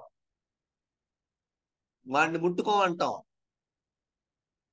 చాలా మంది స్వామి మనం చూస్తూ ఉంటాం కొంతమంది భగవంతుడి సేవకు మనం ఏమైనా డొనేట్ చేస్తే కొంతమంది నేను డబ్బులు ముట్టుకోని అంటారు మేము డబ్బులు తీసుకోమంటారు. కొంత స్వామి కొంతమంది చూస్తూ ఉంటాం. వైరాగ్యం తీసుకున్నామని డబ్బులు తీసుకుంటారు కానీ వాళ్ళు వాళ్ళ వాళ్ళ అకౌంట్ వాళ్ళకి అకౌంట్ ఉంటే వాళ్ళ డబ్బులతో వాళ్ళు కూడా రకాల పనులు చేస్తూ ఉంటారు. చేతితో డబ్బులు తీసుకోమంటారు. లేకపోతే కొంతమంది అలాంటి అసలు ఏమి వదిలే అన్ని వదిలేసి అరణ్యాల్లో ఆశ్రమాల్లో ఉంటారు. కానీ మన మనస్సు ఈ యొక్క భౌతిక ప్రపంచం మీద అంత కోరికల మనస్సు అంత తొందరగా చావదు. అందువల్ల మనం అలాంటి ఫల్గు వైరాగ్యం మనం చేయకూడదు. అలా కాకుండా మనకి వచ్చేవన్నీ కూడా ఆ వచ్చేవన్నీ భగవంతు సేవలో ఉపయోగించాలి. చే- ఒకసారి రూపాదికి ఎవరో ఒక పేపర్లో ఒక ఫోటో తీసుకొచ్చారు. అంటే పేపర్లో ఒక ఫోటో ఆ ఫోటో ఆ ఒక ఒక స్వామీజీ ఒక యోగ అనమాట ఫోటో తీయించుకున్నాడు. ఎవరో డబ్బు ఇస్తున్నారు డబ్బు డబ్బు కట్లు కట్లు నోట్లు. డబ్బు ఇస్తూ ఉంటే ఆ స్వామీజీ నాకు అక్కర్లేదని చెయ్యిలా పెట్టి ఫోటో అన్నమాట ఫోటో తీయించుకున్నాడు. నాకు అక్కడ నేను తీసుకోను డబ్బు అని. అప్పుడు ఆ మాట ఆ ఫోటో అప్పుడు పేపర్లో వేశారు. ఆ పేపర్ తీసుకొచ్చి ఎవరో ప్రభుపాదికి చూపించారు అంటే ప్రభుపాద ఏమన్నారంటే ఓ పని చేయండి పెద్ద డబ్బు కట్టలు తీసుకురండి. నేను డబ్బు కట్టలను ఆవల కావలించుకుంటాను ఆలింగనం చేసుకుంటాను. డబ్బు కట్టలు అన్ని నేను నాకు దాని ఫోటో తీయండి. ఫోటో తీసి పేపర్లో వేయండి అన్న. సో అప్పుడు అదేమిటి? మీరు అలా అంటారు నేను నేను వచ్చిన నాకు వచ్చిన ప్రాపర్టీ అంతా నేను విష్ణు సభలో మీకు ఇస్తున్నాను. నేనే నా కోసం నేను రూపాయి కూడా ఖర్చు పెట్టట్లేదు అని చెప్పి ఆ డబ్బంతా కావాలించుకుని ఫోటో తీసుకోండి తీయండి పేపర్లో వేయండి అన్నారు అందువల్ల ఈ విధంగా వైరాగ్యం అనేది వైరాగ్యం అనేది మన యాక్చువల్గా వైరాగ్యం అనేది మనదేవి కానప్పుడు వైరాగ్యం అనేది అర్థమే లేదు. ప్రపంచంలో ఏదైనా సరే మన ప్రాపర్టీ ఏమీ కాదు. అంతా కృష్ణ ప్రాపర్టీ. భగవంతుని యొక్క ప్రాపర్టీ మనం మనం వచ్చాం మనం జన్మ ఎత్తాం మనం ఏమో తీసుకురాలేదే. మనతో పాటు మన కర్మే వచ్చిందంతే. మనమేం తీసుకురాలేదు. మనం వెళ్ళిపోతాం మనమేం తీసుకెళ్ళిపోం కూడా. ఉచ్చేతంతో ఉత్తి చేతంతో వెళ్ళిపోతాం అంతే. ఉచ్చేతంతో వస్తాం వెళ్ళిపోతాం. మనమేం తీసుకురాలేదు. సో అందువల్ల ఏది మన ప్రాపర్టీ కాదు. మనం అనుభవించడానికి భగవంతుడు మనకి కోట ఇచ్చాడు. ఆ కోట మనం అనుభవించడమే అంతే. అంతేగాని మనం ఏదో మనకి ఏదో ఆ కోట ప్రకారం అనుభవించడమే. ఆ కోట కన్నా మనం ఎక్కువ అనుభవిస్తే ఇంకోళ్ళ ప్రాపర్టీ మనం తీసుకున్న వాళ్ళం అవుతాం. ఇంకోళ్ళు షేర్ వాళ్ళకి ఒక షేర్ ఉంది. భగవంతుడు వాళ్ళకి ఒక షేర్ ఇస్తాడు. వాళ్ళ జన్మకి. అది మనం లాగేస్తే అది చాలా తప్పు. అందువల్ల మనకి ఏమి ఇచ్చాడో అది అనుభవిస్తే ఉండడమే తప్పించి అనవసరంగా ఎక్కువ తీసుకోకూడదు. అలాగే మనకు ఉన్నది భగవంతు చాలా ఉపయోగించడం అనేది ఫలుగు వైరాగ్యంగా రాదు. యుక్త వైరాగ్యం అవుతుంది. ఈ విధంగా కొంతమంది ఏది కూడా నేను స్వీకరించనని చెప్పి చెప్తారు కానీ అన్ని రకాలు వాళ్ళు పబ్లిక్ కానీ అన్ని రకాలు మళ్ళీ వెనకాతల వాళ్ళ లైఫ్ చూస్తే అన్ని రకాలు అనుభవిస్తూ ఉంటారు. సో భౌతిక కోరికల్ని విడిచిపెట్టాలి అని ఒక నేర్చుకున్నాం మనం ఇప్పుడు. ఈ విధంగానే వైరాగ్యాన్ని జ్ఞాన మార్గాన్ని కూడా మనం విడిచిపెట్టాలి. జ్ఞాన మార్గాన్ని కూడా మనం విడిచిపెట్టాలి. ఈ వైరాగ్య జ్ఞానమా అంటే భౌతిక కోరికలు జ్ఞాన కర్మాది అనావృతం.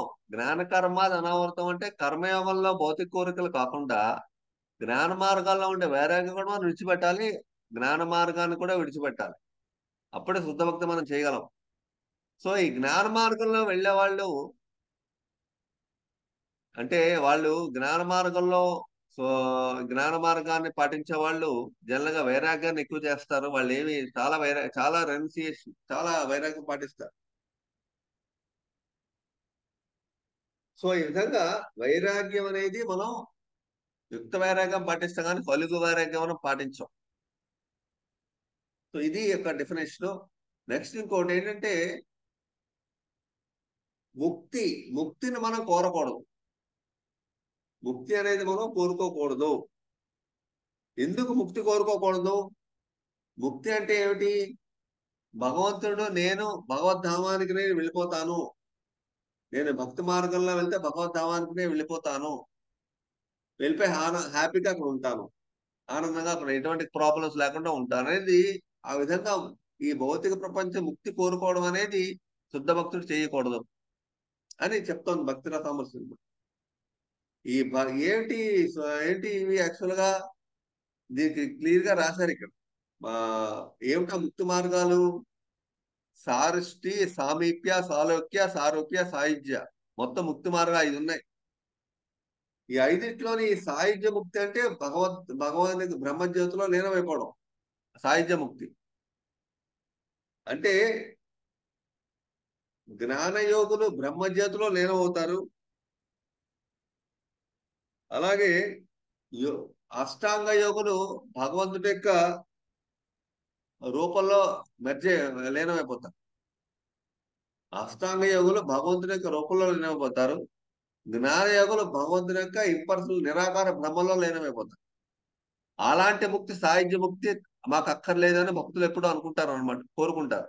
భక్తులు ఎప్పుడు కోరుకారు ఆ ముక్తి మాకు అక్కర్లేదు అనుకుంటారు.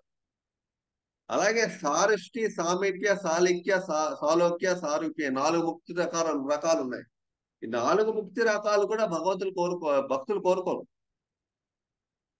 కానీ వాళ్ళు ఏం కోరుకుంటే శుద్ధ భక్తిని మాత్రమే కోరుకుంటారు భక్తులు ఎప్పుడు కూడా. ఈ నాలుగు రకాల ముక్తులు కూడా వాళ్ళు కోరుకోరు. నాలుగు రకాల ముక్తులు ఏమిటి? సారిష్టి అంటే ఏంటి? సారుష్టి అంటే సారుష్టి అంటే భగవంతుని యొక్క ఆపులెన్స్ అనమాట ఆయన మనం భగవద్ధామానికి వెళ్తే మనకి చాలా అంత అనంతమైన ఐశ్వర్యం ఉంటుంది. అంటే చాలా ఐశ్వర్యం మనం అనుభవించచ్చు అక్కడ. అలాంటి మనం ఐశ్వర్యాన్ని అనుభవించే ముక్తి కావాలా మనకని కోరుకోవచ్చు. అది ఒక ముక్తి. అలాగే ఇక్కడ చూడండి ఈ ఫోటోలో సామీప్య అంటే భగవంతుని దగ్గరగా ఉన్నారు వీళ్ళు. వీళ్ళందరూ కూడా ఆయన ఆయన కూర్చుని ఆయన పక్కనే ఉన్నారు చాలా మంది సామీప్యంగా ఉంటారు. ఆయన చూస్తూ స్వామి అంటే భగవంతుడికి ఎప్పుడు దగ్గరగా ఉంటారు. సాలోక్య అంటే ఇక్కడ చూడండి కొంతమంది దూరంగా నిలబడి చూస్తున్నారు. అంటే ఆయన లోకంలో ఉంటారు దూరంగా ఉంటారు వాళ్ళు. ఆయన సామీప్యంగా ఉండరు. సారూప్య అంటే చూడండి ఆయనతో పాటు కొంతమంది సేమ్ రక ఆయన ఆయన లాంటి శరీరమే కొంతమందికి ఉంది ఇక్కడ ఫోటోలో. ఆయన లాంటి శరీరమే కొంతమందికి సారూప్య అన్నమాట. ఈ విధంగా ఈ రకరకాల ముక్తి రకాలు ఉన్నాయి. వీటన్నిటి శుద్ధ భక్తులు కోరుకోరు.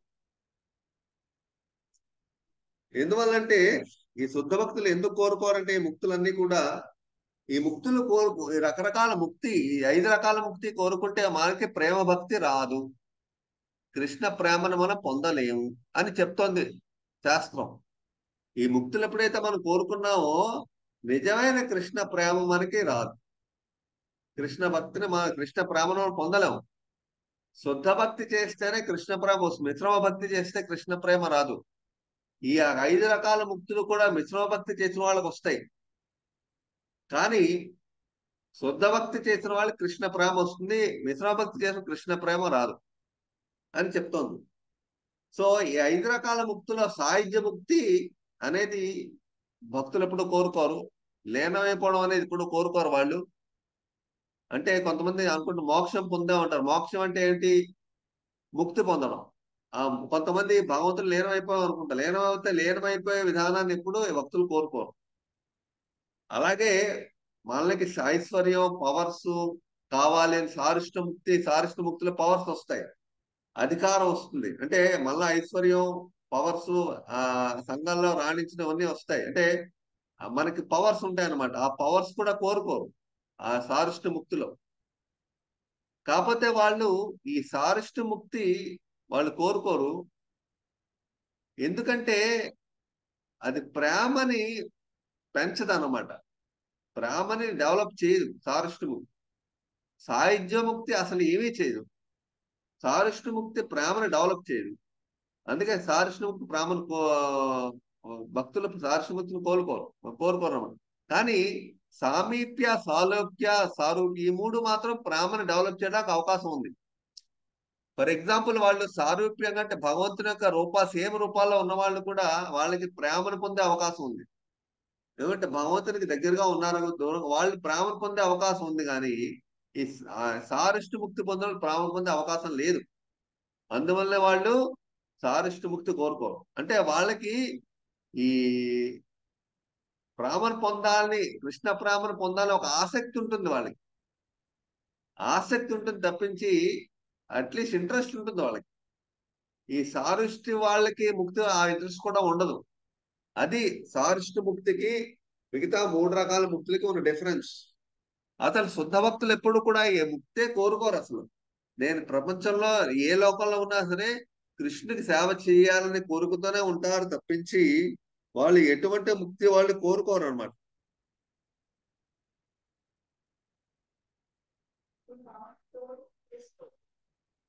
సో ఈ విధంగా మనం ముక్తి అనేది మనం కోరుకోకూడదు. సొంత భక్తి చేసినప్పుడు ఈ కర్మ జ్ఞానం ఈ యొక్క కర్మ భౌతిక కోరికల్ని కోరుకోకూడదు. ఈ రెండు మనకి లేకుండా అంటే చాలా మంది అదేమిటి భగవంతుని పూజ చేసుకుంటున్నాం భగవంతునికి సేవ చేస్తున్నాం ముక్తి మేము కోరుకోకూడదా? నాలో తప్పే ఉంది అని మనం అనుకుంటాం. దాంట్లో తప్పు లేదు. మనం ముక్తిని కోరుకోవచ్చు. భగవంతుని దగ్గరికి వెళ్ళిపోతాం. కానీ భగవంతునికి పర్సనల్గా సేవ చేయాలంటే ఈ ముక్తి పొందినా సాధ్యం కాదు. భగవంతుని పర్సనల్గా సేవ చేయాలి భగవంతుని ప్రేమను పొందాలి కృష్ణ ప్రేమను పొందాలంటే ఈ ముక్తి పొంది మన కృష్ణ సేవ చేయడం కొంచెం కష్టం అవుతుంది. అంటే పర్సనల్గా ఆయనతో రిలేషన్ ఉండదు.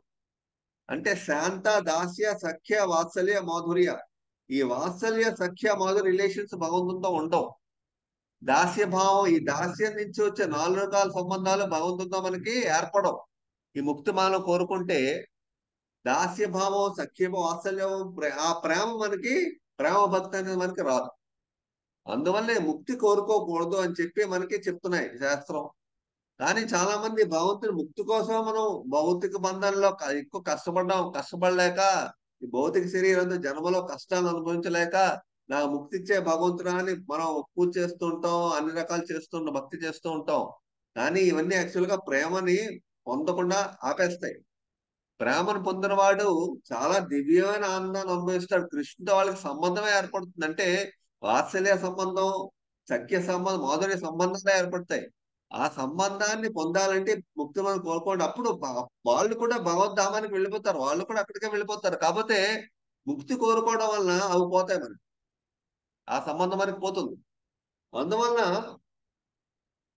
వాళ్ళు ఇన్ కేస్ భగవంత్ కృష్ణుడు ఈ భూలోకంలో అవతరించినా కృష్ణుడితో మాధుర్య రసంలో గాని వాత్సల్య రసంలో గాని సఖ్య రసంలో గాని ప్రేమని ఆ రిలేషన్ పొందుతారు వాళ్ళు. ఆ యొక్క రసంలోని ఆ రిలేషన్ వాళ్ళకి అనుభవంలో అనుభవిస్తూ అనుభవించి ఆధ్యాత్మిక ప్రపంచంలో డైరెక్ట్ రిలేషన్ కూడా వాళ్ళకి వస్తుంది. అందువల్ల ముక్తి ఎప్పుడు కోరుకోరని చెప్పి మనకి భక్తి రసం సింధులో రూపకోసం చెప్తున్నారు. ఈ విషయాలన్నీ కూడా మనకి భక్తి ఠాకూర్ రాసి చెప్పారు సో ఈ విధంగా మనం ముక్తి అనేది కోరుకోవడానికి అవదు. కోరుకుంటే మనం ప్రేమను పొందలేం. అలాగే భౌతి ఈ కర్మ కర్మయోగ కర్మ భౌతిక కోరికలు మనం పెట్టుకోం. అలాగే జ్ఞానయోగంలో ఏమి మనం పాటించాం. ఈ ఇది ఈ రోజు టాపిక్. అందువల్ల మనం మనం చేసే శుద్ధ భక్తి విధానం మనకి గోస్వాములు మన ఆచార్యులు రూపాంతరం శుద్ధ భక్తినే మనకి ఇచ్చారు ఎటువంటి పరిస్థితుల్లో మనం మన యొక్క యాటిట్యూడ్ మనం మార్చుకోకూడదు. భగవంతునికి ప్రేమతో నామం చెప్పాలి. భగవంతుతో సంబంధాన్ని ఏర్ మన జీవిత లక్ష్యం ఏంటంటే భగవంతుతో సంబంధాన్ని ఏర్పరచుకోవాలి. ఏర్పరచుకుని ఆ సంబంధంతో భగవంతునికి సేవ చేయాలి కృష్ణుడికి. దాస్య సఖ్య వాత్సల్య మాధురి సంబంధం నేను కృష్ణుని ఏ విధంగా నేను చూస్తున్నాను? కృష్ణుని ఏ విధంగా ఏ భావంతో చూస్తున్నాను? కృష్ణుడు నాతో కృష్ణుని ప్రేమగా చూస్తున్నానా లేదా? ఇది మనం పెంచుకోవాలి. కృష్ణుడు మరి నాకు ఎంత భక్తి ఉంది? కృష్ణ అంటే నాకు ఎంత ఎఫెక్షన్ ఉంది? ఇది మనం పెంచుకోవాలి. నాకు ముక్తి వచ్చిందా లేదా? లేకపోతే నా కష్టాలన్నీ పోయేయా లేదా? లేకపోతే నాకు అన్ని రకాల ఐశ్వర్యం వచ్చిందా లేదా? ఇవన్నీ మనం చూడకూడదు. ఇవన్నీ మనం చూడకూడదు. యాక్చువల్ గాను అలాగే మెటీరియల్ అటాచ్మెంట్స్ ఉండకూడదు. ఇంకో విషయం చాలా ఇంపార్టెంట్ విషయం. మనం భక్తి యోగ భక్తి సాధన భక్తి మార్గాల్లో రెండు రకాల అఫెన్సెస్ చేస్తాం. అంటే మెయిన్ మన భక్తి మార్గాల్లోనే కొన్ని అపరాధాలు చేస్తాం. ఇంకోటి ఏంటంటే వైష్ణవ అపరాధం చేస్తాం. భక్తి మార్గంలో అపరాధం ఏంటంటే మెటీరియల్ అటాచ్మెంట్స్ జీవాపరాధం నామపరాధం వైష్ణవపరాధం సేవాపరాధం. అలా కాకుండా నామపరాధంలోని మెటీరియల్ అటాచ్మెంట్స్ ఎక్కువ ఉంటే నామపరాధం అవుతుంది అది ఆ నామపరాధం వల్ల మనకి మనలోని డెవలప్మెంట్ చాలా స్లో అయిపోతుంది ఫాస్ట్గా ఉండదు. మనం ఎన్ని ఎన్ని సంవత్సరాలు మనం ప్రాక్టీస్ చేసి మనలోని ఆ డెవలప్మెంట్ పెద్దగా ఉండదు. ఎందుకంటే నామపరాధం మనం చేస్తే డెవలప్మెంట్ మనలో పెద్దగా ఉండదు. నామపరాధం ఏంటంటే మెటీరియల్ అటాచ్మెంట్స్ పది నామపరాధాల్లో తొమ్మిది నామపరాధాలు చేయడం దాటడం చాలా ఈజీ పదవ నామపరాధం దాటడం చాలా కష్టం. అది మెటీరియల్ అటాచ్మెంట్స్ ఉంటే నామపరాధం మనం చేసిన వాళ్ళు అవుతాం. దానివల్ల నామలో మనకు రుచి రాదు. అందువలన ఈ నామపరాధం చేస్తే మనకి భక్తి మార్గంలో ముందుకు వెళ్ళడం స్లో అయిపోతుంది. సో అందువలన ఇవన్నీ మనకి జాగ్రత్తగా చూసుకుని కృష్ణుని నామం చెప్ప అపరాధం చేయకుండా చెప్పడం అలాగే మనం ప్రేమను మనం ప్రేమను పెంచుకోవాలి లక్ష్యాన్ని పెట్టుకుని మనం సాధన చేయడం లక్ష్యం చాలా ఇంపార్టెంట్ నేను భగవంతుని యొక్క ప్రేమను పొందాలి భగవంతు ప్రేమతో సేవ చేయాలి అనే కోరిక పెంచుకోవడం చాలా ఇంపార్టెంట్ ఈ విధంగా మనం ఈ భక్తి మార్గంలో పాటిస్తాం మనం జస్ట్ ఈ రెండు టాపిక్లు డిస్కస్ చేసాం. మిగతాది ఇంకా నెక్స్ట్ మిగతా టాపిక్స్ ఉన్నాయి. అవి మనం నెక్స్ట్ క్లాసులో ఈ యొక్క ఇదే ఈ యొక్క భక్తి గురించే శ్రద్ధ గురించి నిష్ట గురించి మనం కొంచెం కొంచెం డిస్కస్ చేద్దాం మిగతా క్లాసులో హరే కృష్ణ. అందరికీ వాళ్ళకి వచ్చిన క్లాస్కి వచ్చి అందరికీ ధన్యవాదాలు. క్లాస్ ఏమైనా అర్థమైందా? ఏమైనా డౌట్స్ ఉన్నాయా? లేకపోతే ఎవరైనా కొత్త వాళ్ళు జాయిన్ అయ్యారా? వాళ్ళకి క్లాస్ ఏమిటి? ఇది ఈ విషయాలు ఇంతకు ముందు మీరు వినే ఉంటారు. కాకపోతే శుద్ధ భక్తి అనేది చాలా ఇంపార్టెంట్. మనకి శుద్ధ భక్తిని ఇచ్చారు పురోపాద ఆచార్యులు అదే మనం చేయాలి. లేకపోతే మనకి సరైన ఫలితం రాదు. కొత్త వాళ్ళకి ఈ విషయం ఈ టాపిక్ కొంచెం కష్టంగా ఉంటే వాళ్ళు వినొచ్చు పర్వాలేదు. వాళ్ళు కూడా కొంచెం మిగతా క్లాసులు వినడం మిగతా ప్రోగ్రామ్స్ వినడం అనేది చేయండి. హరే కృష్ణ. మీకు ఏమైనా డౌట్స్ ఉంటే అడగచ్చు. హరే కృష్ణ.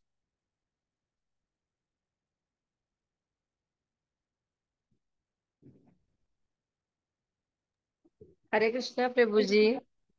హరే కృష్ణ. ప్రభుజీ కోరికలు కోరకూడదు అన్నారు కానీ ఇప్పుడు మన పిల్లల కోసం కోరుకోవచ్చు కదా ప్రభుజీ. పిల్లలు బాగుండాలని వాళ్ళకి ఉద్యోగాలు రావాలని అది కోరిక అవుతుందా ప్రభుజీ అది? మనకి జనరల్ గాను మన పిల్లల్ని బాగా చదివిస్తాం చదివించడానికి ట్రై చేస్తాం మంచి వాళ్ళు శుభ్రంగా లైఫ్లో సెటిల్ అవ్వాలనుకుంటాం. మన ప్రయత్నం మనం చేద్దాం అనుకుంటాం. మన ప్రయత్నం మనం చేస్తాం కూడా. కానీ వాళ్ళకంటూ ఒక జీవితం అనేది ఉంది. వాళ్ళకి వాళ్ళకి ఏది రావాలి ఏది రాకు వాళ్ళకి ఏది ఎంతవరకు రావాలో ఆల్రెడీ వాళ్ళకి కర్మ వాళ్ళు చేసే కర్మ ప్రకారం వాళ్ళకి ఫలం ఆల్రెడీ వస్తుంది. మనం కోరుకున్నాం అని చెప్పి వాళ్ళ కర్మ మా ఫలం మారిపోదు. ఓకే. అంటే అది కోరుకోవడం అలాగా తప్ప మనమేమనుకు అది కోరుకున్నా సరే మనం వాళ్ళకి ఏది భగవంతుని ప్రాప్తం కోరుకుంటాం. ఇప్పుడు మనకు ఆ కోరిక నా మనకు ఆ కోరిక అని భగవంతుడిని వెళ్ళి కోరుకుంటాం కదా భగవంతు దగ్గరికి వెళ్ళి నాకు నాకు నా అవును. మా అబ్బాయిని మా అమ్మాయిని ఆ, మంచి సంబంధం చూపించు లేకపోతే మంచి ఐఐటి సీట్ తెప్పించు లేకపోతే మంచి ఉద్యోగం మంచి ప్రమోషన్ ఇప్పించు వాడి మంచి పొజిషన్లో ఉండేటట్టు వాడిని ఏర్పాటు చెయ్యి ఇది భగవ మన మనసులో కోరిక ఉంది భగవంతుని కోరుకోవట్లే. ఆయన దగ్గరికి వెళ్ళి ఇవన్నీ కోరుకోవట్లేదు లిస్ట్ అంతా చెప్పట్లేదు. కాకపోతే మనం మన మనసులో కోరిక ఉంది మన వాడు శుభ్రంగా కష్టాలు లేకుండా హ్యాపీగా మనలాగా కష్టాలు పడకుండా వాడు హ్యాపీగా జీవించాలా అనుకుంటాం. మన పిల్లలు. మన మా పిల్లలు ఆనందంగా ఉండాలనుకుంటాం. ఆ కోరిక ఉంటే దాంట్లో తప్పు లేదు బట్ సాధారణంగా తల్లిదండ్రుల కోరికలు అందరికీ ఉంటాయి.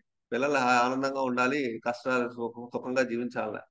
బట్ ఇదే పనిగా భగవంతుణ్ణి అదే పనిగా మనం కోరుకోవడం అనేది మనం ఎక్కువగా మనం కొంతమంది వచ్చి కూడా వెంకటేశ్వర వెంకటేశ్వర స్వామి దగ్గర మొక్కులు కూడా మొక్కుంటారు. ఇవన్నీ జరుగుతూ ఉంటాయి. కానీ బిగినింగ్లో ఇవన్నీ ఓకే. ఇప్పుడు ఒకే రోజు ఈ శుద్ధ భక్తి అనేది మొదట్లో ఓవర్ నైట్ ఏం వచ్చేది సడన్గా ఒకే రోజు అన్ని మారిపోవు జీవితంలో అన్ని శుద్ధ భక్తిలో వెళ్ళిపోరు అందరూ. గ్రాడ్యువల్ ప్రాసెస్ కానీ వీలైనంత వరకు మనం తగ్గించడానికి ట్రై చేయాలి. వాళ్ళకి కర్మఫలం అంటూ ఉంటుంది. వాళ్ళకి వాళ్ళ చదువు వాళ్ళకి ఏ చదువు చదవాలి ఏ ఉద్యోగం వాళ్ళు చేసిన కర్మ ప్రకారం వాళ్ళకి వాళ్ళు చదివే చదువుల ప్రకారం వాళ్ళు చేసిన పనులు వాళ్ళకి రిజల్ట్స్ ఆల్రెడీ డిసైడ్ అయి ఉంటాయి. ఆ కర్మ వాళ్ళకి వస్తూ ఉంటాయి. మనకి ఎలా వచ్చే వాళ్ళకి అలాగే వస్తాయి. మనం మనం ఏ లైన్లో మనం ఎలా వచ్చి ఎలా సెటిల్ అయ్యామో వాళ్ళ లైన్లో వాళ్ళు సెటిల్ అవుతారు. మనం ఎంత ప్రభు అనుకున్నా వాళ్ళ జీవితాలను మనం మార్చలేము కాకపోతే మనకు ఆరాటం ఆ ప్రాకులాడడం మనకు ఉంటాయి తల్లిదండ్రులకు ఉంటుంది అప్పుడు ఏం చేస్తాం? ఎక్కువగా భగవంతుని మాట కంట భగవంతుడిని వాళ్ళని కూడా మనం సరైన దారిలో పడడానికి ట్రై చేస్తాం. భగవంతుని మాట మాటికి కోరిక మనం లిస్ట్ చదవం అనమాట కోరిక ఉంటుంది గ్రాడ్యువల్గా పిల్లలు బాగుండాలి అందులో తప్పేం లేదు. నేచురల్గా ఉంటుంది కొన్నాళ్ళు భక్తి గ్రాడ్యు మర్చిపోతాం మనం మర్చిపోతాం? ఒక్కసారి చెప్పేసి ఆయనకి వదిలేయడమే ప్రభుజీ. ఇది వరకు అయితే మొక్కుకునేదాన్ని ఇప్పుడు ఇంచుమించు ఈ ఇయర్ ఫస్ట్ టూ ఇయర్స్ లోను కానీ ఇప్పుడు ఇంకా మొక్కులు అవి మానేశాను ప్రభుజీ. ఇంకా అన్ని మొత్తం కృష్ణయ్య. అందరూ అడుగుతున్నారు మొత్తం ఇంకే పూజలు చేయరా అండి అని. అన్ని పూజలు చేస్తామండి మేము. కతే అన్ని అన్ని అన్ని దేవు ఈ కృష్ణుడితో ఇంక్లూడ్ అయి చేసుకుంటామండి అంతేగాని. మాది వేరే మతం ఏం మీది వేరే మతం ఏమోనండి అని అడిగారు ఇద్దరు ముగ్గురు. మాది వేరే మతం ఏం కాదండి మాది. మీరు సమాధానం ఏం చెప్పండి అంటే భగవద్గీత వేరే మతం అని చెప్పండి. కృష్ణుడు చెప్పాడు అది వేరే మతం ఏమైనా ఉందా. భగవద్గీత వేరే మతం అని కృష్ణుడు స్టార్ట్ చేశాడా? భగవద్గీత అందరూ చదువుతున్నారు. కోర్టులో కూడా భగవద్గీత మీద ప్రమాణం. చేస్తున్నారు. అన్ని చోట్ల భగవద్గీత ఉంది. ఈవెన్. చనిపోయినప్పుడు కూడా చనిపోయినప్పుడు కూడా భగవద్గీత మీద ప్రమా భగవద్గీతని తీసుకొని చదవమంటారు. చనిపోయినప్పుడు. భగవద్గీత చదవమంటారు చనిపోయినప్పుడు. అంటే మన ఉల్లిపాయ మీరు వేరే మతం అండి మీరు ఏమీ తినరు ఇది అది అని పేర్లు పెడితేనే అన్నా అనమాట మరి మతం అంటే ఏమండి ఒక విషయం చెప్పనా? ఒక్క యాభై ఏళ్ళు మన మన నానమ్మలు మన నాయనమ్మలు మన అమ్మమ్మలు వాళ్ళు ఉల్లిపాయలు తిన్నారా? అప్పుడు లేవు కదా రోజు నైవేద్యం పెట్టాక వాళ్ళు తిన్నారు? అవును నాన్నమ్మ చిన్నప్పుడు మనం చూసాం మన అమ్మమ్మలు మన తా వాళ్ళని రోజు నైవేద్యం పెట్టాక సంసారాలు తిన్నారు? అవును అవును. మన ఈ ప్రభుజీ రోజు ఈ వెస్ట్రన్ కల్చర్ వచ్చి మనం నైవేద్యం పెట్టట్లేదు ఇంట్లో. ఈ నైవేద్యం పెట్టడం అనేది ఇవాళ ఇస్కాన్ కొత్తగా స్టార్ట్ చేయలేదు. ఈవెన్ మనం ఆవకాయలు పెట్టినా కూడా ఊరగాయలు కూడా దేవుడికి పెట్టి పక్కన ఆ పెట్టి అప్పుడు పెట్టి తీసుకొచ్చి పెట్టేవారు కదా మన ఫ్యామిలీలో. ఒక్కసారి యాభై సంవత్సరాల ముందుకు వెళ్తే అవును మన అవును. పూర్వీకుల మన తాతలు వీళ్ళందరూ కూడా నైవేద్యాలు పెట్టి చేశారు. ప్రతిరోజు అవును. కూడా. భగవదర్పణం వాళ్ళు చేసే ఏమీ చేశారు అలా చేయలేదు. ఇవాళ యాభై సంవత్సరాల్లో ఇండియా మారిపోయింది మన ఇండియన్లో కల్చర్ మారిపోయింది మన నైవేద్యం పట్ల కొత్త విధానం మనమే ఇస్కాన్ స్టార్ట్ మనమే కొత్తగా స్టార్ట్ చేసి ఇస్కాన్ ఏమి స్టార్ట్ చేయలేదు. ఆల్రెడీ ప్రభుపాద్ ఏమన్నారు? Old wine in the new bottle అన్నారు ఆయన. Old wine in the new bottle అది ఇంగ్లీష్లో తెలుగులో ఏం చెప్తారు? ఆ పాత అంటే పాత విధానాలే కొత్తమైన సీసాలో కొత్త కొత్తగా ఒక కొత్త దాంతో చూపించు మేము చూపిస్తున్నాం అన్నారు అంటే ఆయన పాత విధానాలే ఇవన్నీ కూడా. రోజు పొద్దున్న లేవగానే స్నానం చేసి భగవంతుని పూజ చేసుకోవడం పాత విధానమే కదా కొత్తగా ఉన్న ఇస్తానే కొత్తగా పెట్టలేదే. అవును ప్రభు ఇంకా చెప్పాలంటే ఉల్లిపాయ వెల్లుల్లిపాయ మాట్లాడుతున్నారు. ఉల్లిపాయ వెల్లుల్లిపాయ పండగల్లో మనం ఇప్పుడు ఉల్లిపాయ వెల్లుల్లిపాయతో వంట చేసుకున్నామా లేదే కదా. ఎందుకు పండగల్లోని ఉల్లిపాయ వెల్లుతో వంట చేయకుండా కృష్ణ దేవుడికి నైవేద్యం పెట్టాలని చెప్పి ఉల్లిపాయ వెల్లుల్లిపాయ వేయకుండా నైవేద్యం వంట చేస్తున్నాం పండగల్లో. ఇంట్లో ఆ రోజు ఉల్లిపాయ వెల్లుల్లిపాయ వాడం మేము నైవేద్యం పెడతాం. పూర్వకాలంలో రోజు నైవేద్యం పెట్టేవారు. మన తాత ముత్తాతలు వాళ్ళు ఎప్పుడు ఉల్లిపాయ వాడేవారు కాదు. అవును మా నాన్నమ్మ గారు పెట్టేవారు రోజు రోజు తడి వాళ్ళు ఉల్లిపాయ వాడేవారు కాదే. అలాంటప్పుడు వాళ్ళని ఎందుకు క్వశ్చన్ చేయట్లేదు? వాళ్ళ వాళ్ళు మనం మనం పెద్దవాళ్ళని అడగలేదు. అది పద్ధతి అని చేసేవాళ్ళం. ఇప్పుడు చూస్తుంటే పేర్లు పెడుతున్నారు ప్రభుజీ. ఉల్లిపాయ మానేయడమా? కూడా ఇవన్నీ కూడా పూర్వం పాటించాం. అంటే ముందు జన్మలో పాటించాం. ముందు ఇండియా ఇంకా అంత వరస్ట్గా లేదు. ముందు జన్మలో మన ఇండియాలో పుడితే. ముందు జన్మలో పాటించేవన్నీ కూడా ఇవన్నీ ముందు జన్మ చేసాం ఈ జన్మలో మరి కృష్ణ భక్తులు మనం వచ్చామంటే క్యారీ ఫార్వర్డ్ ఇది. ఎప్పుడో మనం ఏదో కొంత చేసాము ఇది కంటిన్యూ అవుతుంది ఇక్కడ అంతే. సో అందువల్ల మనం ముందు జన్మలో అంటే మన వాళ్ళు మన తాత అమ్మ వాళ్ళ పేరెంట్స్ వాళ్ళు చేశారు. మధ్యలో గ్యాప్ వచ్చింది కొన్ని సంవత్సరాల పాటు. అది మనం మళ్ళీ స్టార్ట్ చేసాం. అంతేగాని ఇదేదో కొత్తగా ఎక్కడ సృష్టించింది కాదు. మా ఇంట్లోనే మాట అండి మీకు ఇదే మతం మీది మీ ఇది వేరు కదా. మతం ఏమీ మీరు ఇలా లేదండి అన్ని వీళ్ళు మీరు ఇలా ఎక్స్ప్లెయిన్ చేయండి వాళ్ళకి. వాళ్ళకి అర్థం అవుతుంది వాళ్ళు ఏమనుకుంటారంటే మీరేదో మన ఏదో కొత్తగా చేస్తున్నట్టు మాట్లాడుతున్నారు. ఎవరికి ఏంటంటే మనం పూర్వం మన మన వాళ్ళు మనం ఆలోచించలేదు. పూర్వం అంతెందుకు? రామాయణ మహాభారతం మన వాళ్ళందరూ చదివారు. చదివేవారు హరికథలు విన్నారు. హరికథలు సంవత్సరం ప్రతి సంవత్సరం కార్తీక మాసంలో వెళ్ళి మా అమ్మమ్మ గారు మా అమ్మగారు తీసుకెళ్ళారు టెంపుల్స్ హరికథలు హరికథలే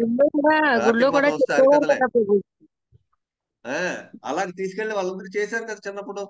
అదే ఇప్పుడు. తేడా ఉంది రామాయణం చెప్పేవారు ప్రభుజీ గుళ్ళో చెప్తుంటే తీసుకెళ్ళేవారు వాళ్ళు కూడా మమ్మల్ని. నేనైతే అలా ఎక్కువ ఉంది కదా. ఇప్పుడు ఏదో ముప్పై సంవత్సరాలు ఐటీ ఫీల్డ్ ఇండియాకి వచ్చింది ఇండియా అంతా వెస్టర్నైజ్డ్ అయిపోయింది అన్ని మర్చిపోయాం. ఏమీ లేదు అదే ప్రభుజీ అదే కోరిక అన్న అడగకూడదు అన్నారు ఇది పిల్లల గురించి అడగచ్చా ఇంకేమీ లేవు ప్రభుజీ. అన్ని ఆయనే చూసుకుంటాడు. ఒకటే నమ్మకం. మనకి ఏది ఇవ్వాలా ఎంత ఇవ్వాలా ఆయనే ఇస్తారు కదా ఆయనకి తెలుసు కదా. మనం అడిగినా ఇచ్చేడు ఆయన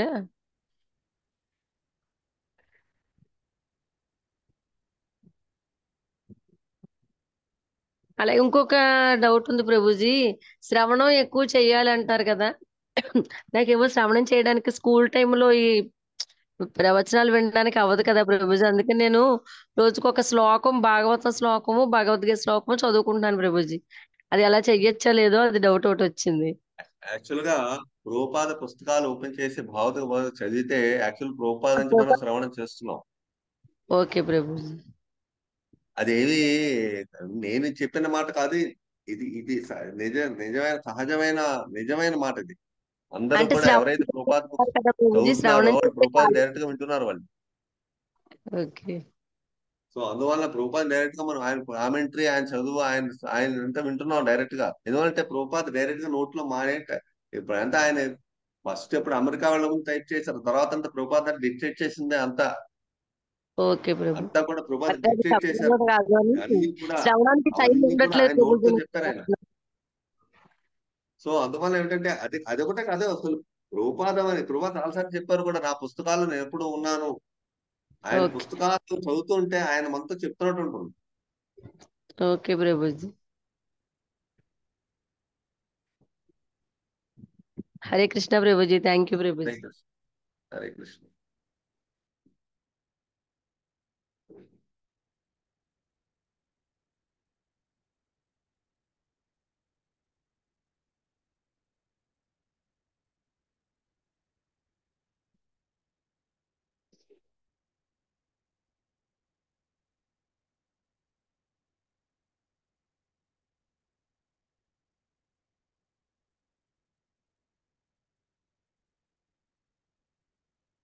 ప్రభు యూట్యూబ్లో రికార్డింగ్ అయిందా? ప్రభు యూట్యూబ్లో రికార్డింగ్ అయిందా? ఇవాళ ఒక ఇంకో ఇంకో తమిళ ప్రోగ్రామ్ ఒకటి వెళ్తుంది భగవద్గీత ఎయిటీన్ డేస్. వాళ్ళకి. యూట్యూబ్ లింక్ క్రియేట్ చేశారు వాళ్ళు. ఇది రికార్డింగ్ చేశాను నేను ఇది. తర్వాత విజువల్ అప్లోడ్ చేయాలి దీన్ని ఓకే. అంటే రెండు రెండు రెండు ప్రోగ్రాంలు రెండు యూట్యూబ్ లింకులు క్రియేట్ చేయడం అవుతుంది ఛానల్లో అది. Okay sir. Okay okay. సరే డౌట్ నేను లింక్ కోసం చూస్తున్నాను ఈ కనపడలేదని లింక్ అందుకే పోస్ట్ చేయలేదు యాక్చువల్గా ఓన్లీ మెసేజ్ జూమ్ లింక్ పెట్టాను నేను. యూట్యూబ్ పెట్టలేదు. Okay okay. Hare Krishna. So మా దయచేసి అందరూ కూడా మనకి ప్రభుపాద్ ఇచ్చిన శుద్ధ భక్తి విధానాన్ని పాటించడానికి ట్రై చేయండి. శుద్ధ భక్తి విధానాల్లో మనం వెళ్ళడానికి ట్రై చేద్దాం. మిశ్రమ భక్తి ఇవన్నీ మనం వదిలేయడానికి మనం ట్రై చేయాలి. అసలు మనకి ప్రభుపాద ఎలాంటి ఫిలాసఫీ ఇచ్చారో గోస్వాముల ఆచార్యులు ఎలాంటి ఫిలాసఫీ ముందో తెలుసుకోవాలి కదా అందుకే ఇవన్నీ చెప్పేది. వాళ్ళు మనకి ఏమి ఇచ్చారో ముందు తెలియాలి కదా మనకి అప్పుడే మనకి ఏం చేయాలో తెలుస్తుంది. సో అందువల్ల దయచేసి అందరూ కూడా ఈ యొక్క ఫిలాసఫీ అనేది ముందు మనం అర్థం చేసుకుందాం. ఈ ఫిలాసఫీ అర్థం చేసుకుని ప్రభుపాద మనకి ఇచ్చిన ఫిలాసఫీ ఏంటంటే శుద్ధ భక్తి. శుద్ధ భక్తి ఇచ్చారు కాబట్టి మనందరం కూడా శుద్ధ భక్తి విధానం అనుసరించడానికి ట్రై చేద్దాం. సో దానివల్ల కృష్ణుడు చాలా తొందరగా మనకి లభ్యం అవుతాడు. చాలా ఈజీగా కృష్ణుని యాక్సెస్ ఉంటుంది శుద్ధభక్తం. హరే కృష్ణ. సో ఇంకేమైనా అనుమానాలు కానీ లేకపోతే కామెంట్స్ కానీ సజెషన్స్ కానీ ఉన్నాయా?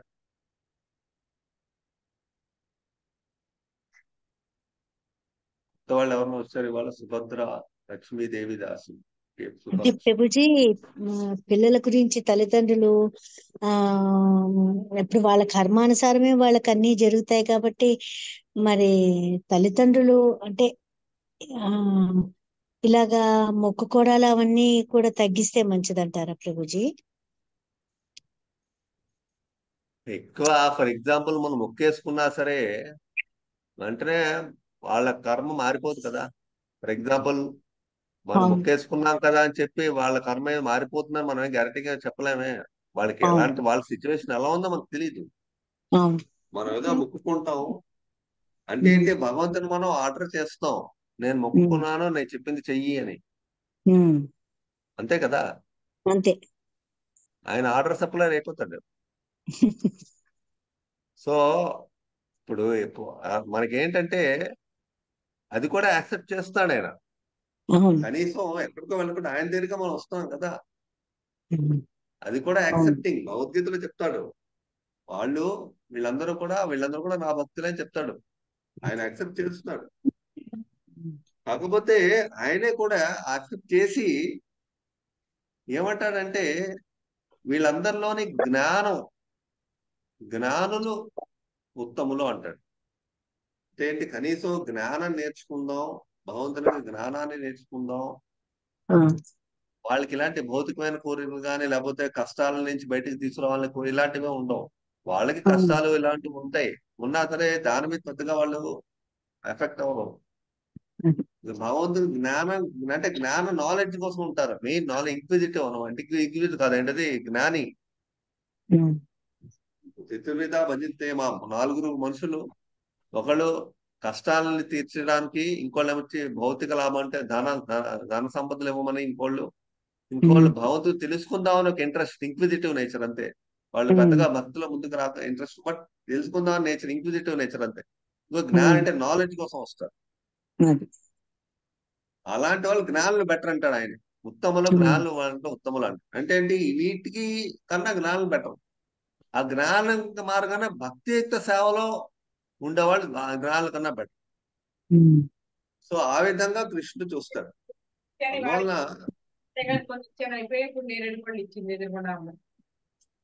ఎవరు మాట్లాడుతున్నారు అది పిల్లలకి ఉంచంటే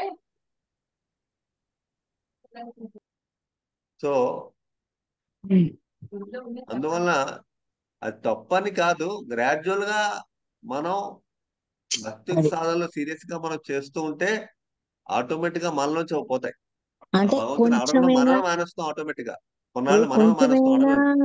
అంటే వాళ్ళ కొంచెమైనా ఆ ఇది కర్మ సిద్ధాంతం అంటే కర్మల వల్ల వాళ్ళ వాళ్ళ కర్మలు బట్టే వాళ్ళు ఆ పెద్దవాళ్ళు అవడం అంటే ఇక్కడ పెద్ద పెద్ద పొజిషన్లో ఉన్నారని అనడం లేకపోతే చెడిపోవడం అనేది కొంచెమైనా అలాంటివన్నీ కూడా తెలుసుకుంటే తల్లిదండ్రులకి నాలెడ్జ్ ఉండాలి ముందర. అంటే అది వాళ్ళ కర్మానుసారం బట్టి జరుగుతుంది అని. కానీ దానివల్ల తల్లిదండ్రులకు మనసు చాలా క్లేశ పడుతుంది కదా ప్రభుజీ?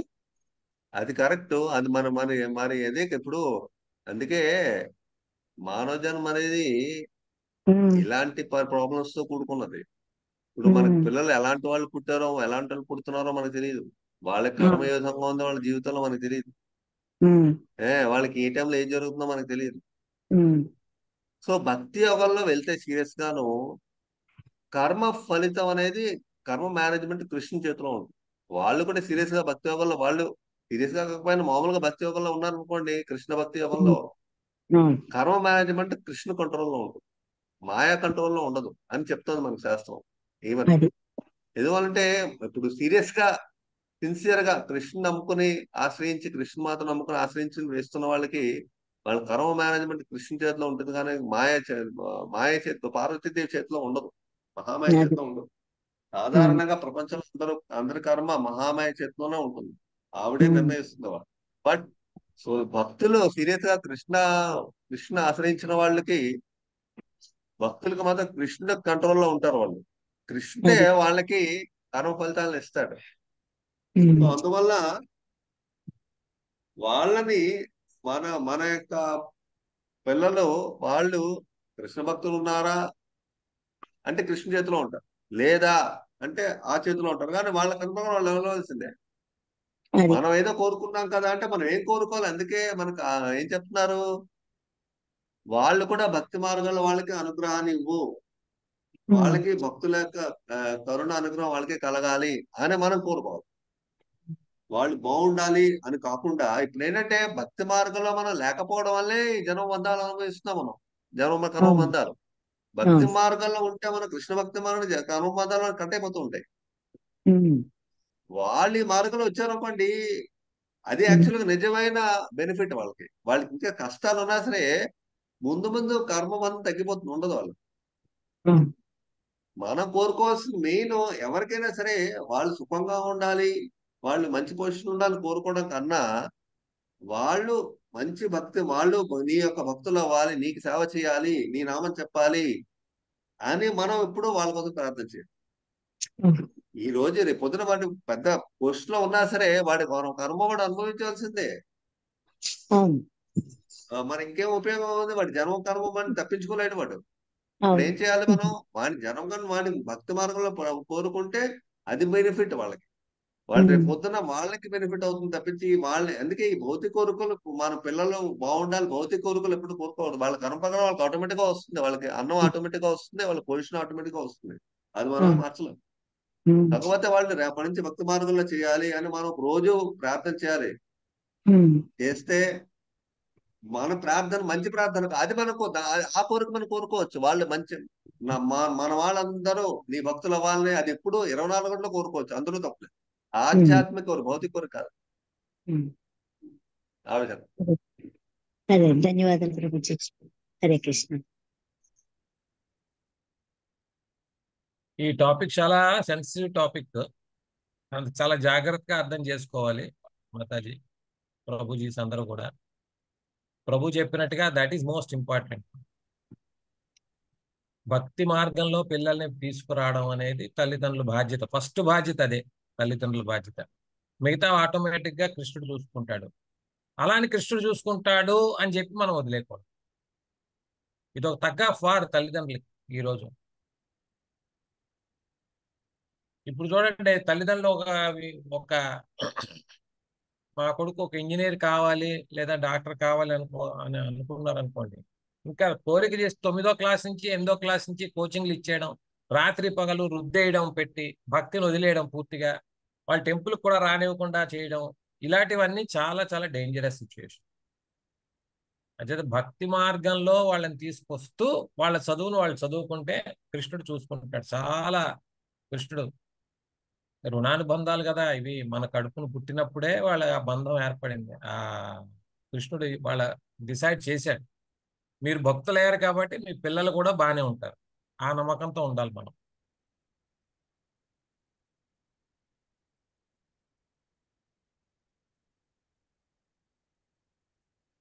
అది ఆ పాయింట్ కరెక్ట్ పాయింట్ ప్రభు చెప్పింది. మనం కానీ సీరియస్గా కృష్ణ భక్తి చేస్తే పిల్లలు కూడా అది ఒక బెనిఫిట్ అన్నమాట. అందుకే ముందు జనరేషన్ వెనక జనరేషన్ కూడా అది వెళ్తుంది ఆ యొక్క ఫలితం కొంతవరకు. ఒకసారి చెప్పారు కొంతమంది తల్లిదండ్రులు వర్రీ అవుతుంటే పిల్లల గురించి మహారాజు ఎవరో చెప్పారు నాకు. అసలు మీ కడుపు మీరు భక్తి మార్గంలోకి వచ్చారు మీ కడుపును పుట్టడమే వాళ్ళ అదృష్టం మీరేం వర్రీ అవ్వక్కర్లేదని చెప్పారు మహారాజు ఒకసారి. కానీ చిన్నప్పుడు కొన్ని ఈ మధ్యలో మనం కృష్ణా కాన్షియస్లోకి రావడంతో మన పిల్లల్ని కొంచెం సీరియస్గా ఇన్వాల్వ్ చేయడానికి చూసినప్పుడు పిల్లల నుంచే రెసిస్టెన్స్ వస్తుంది ఒక్కోసారి. అది చాలా జాగ్రత్తగా హ్యాండిల్ చేయాలి ఇవన్నీ. చాలా చాలా జాగ్రత్తగా హ్యాండిల్ చేయాలి. అందుకే సీనియర్ డివోటీస్ వాళ్ళ సజెషన్స్ తీసుకుంటూ ప్రొసీడ్ అవ్వాలి కొన్ని కొన్ని పర్టికులర్ ఇన్సిడెంట్స్ బట్టి.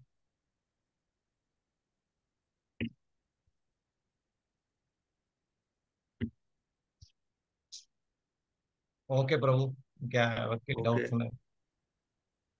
ఏమైనా డౌట్స్ లేవా? లేవు ప్రభుజీ. హరే కృష్ణ ప్రభుజీ. ప్రణామాలు. హరే కృష్ణ. హరే కృష్ణ. సో మీరందరూ కూడా ఫిలాసఫీ సరిగ్గా అర్థం చేసుకోవాలి. టాపిక్ చాలా చేసేస్తున్నాం కదా అని కాదు. ఫిలాసఫీ సరిగ్గా అర్థం చేసుకోవడం చాలా ఇంపార్టెంట్.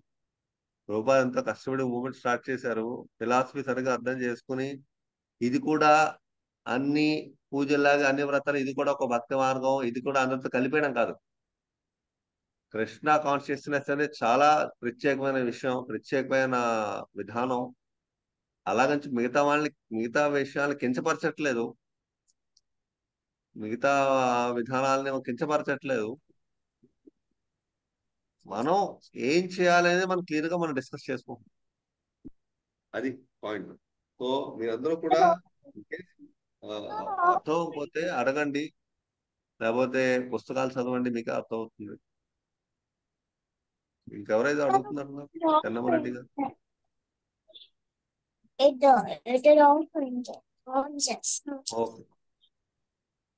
ఓకే. ఏం లేవా.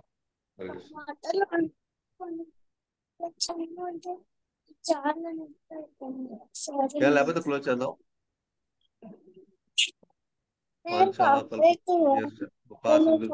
పతిదానం పావనేభ్య వైష్ణవేభ్యో నమో నమః వైష్ణవుడికి ప్రభుపాదకి హరే కృష్ణ హరే కృష్ణ హరే కృష్ణ హరే కృష్ణ హరే కృష్ణ హరే కృష్ణ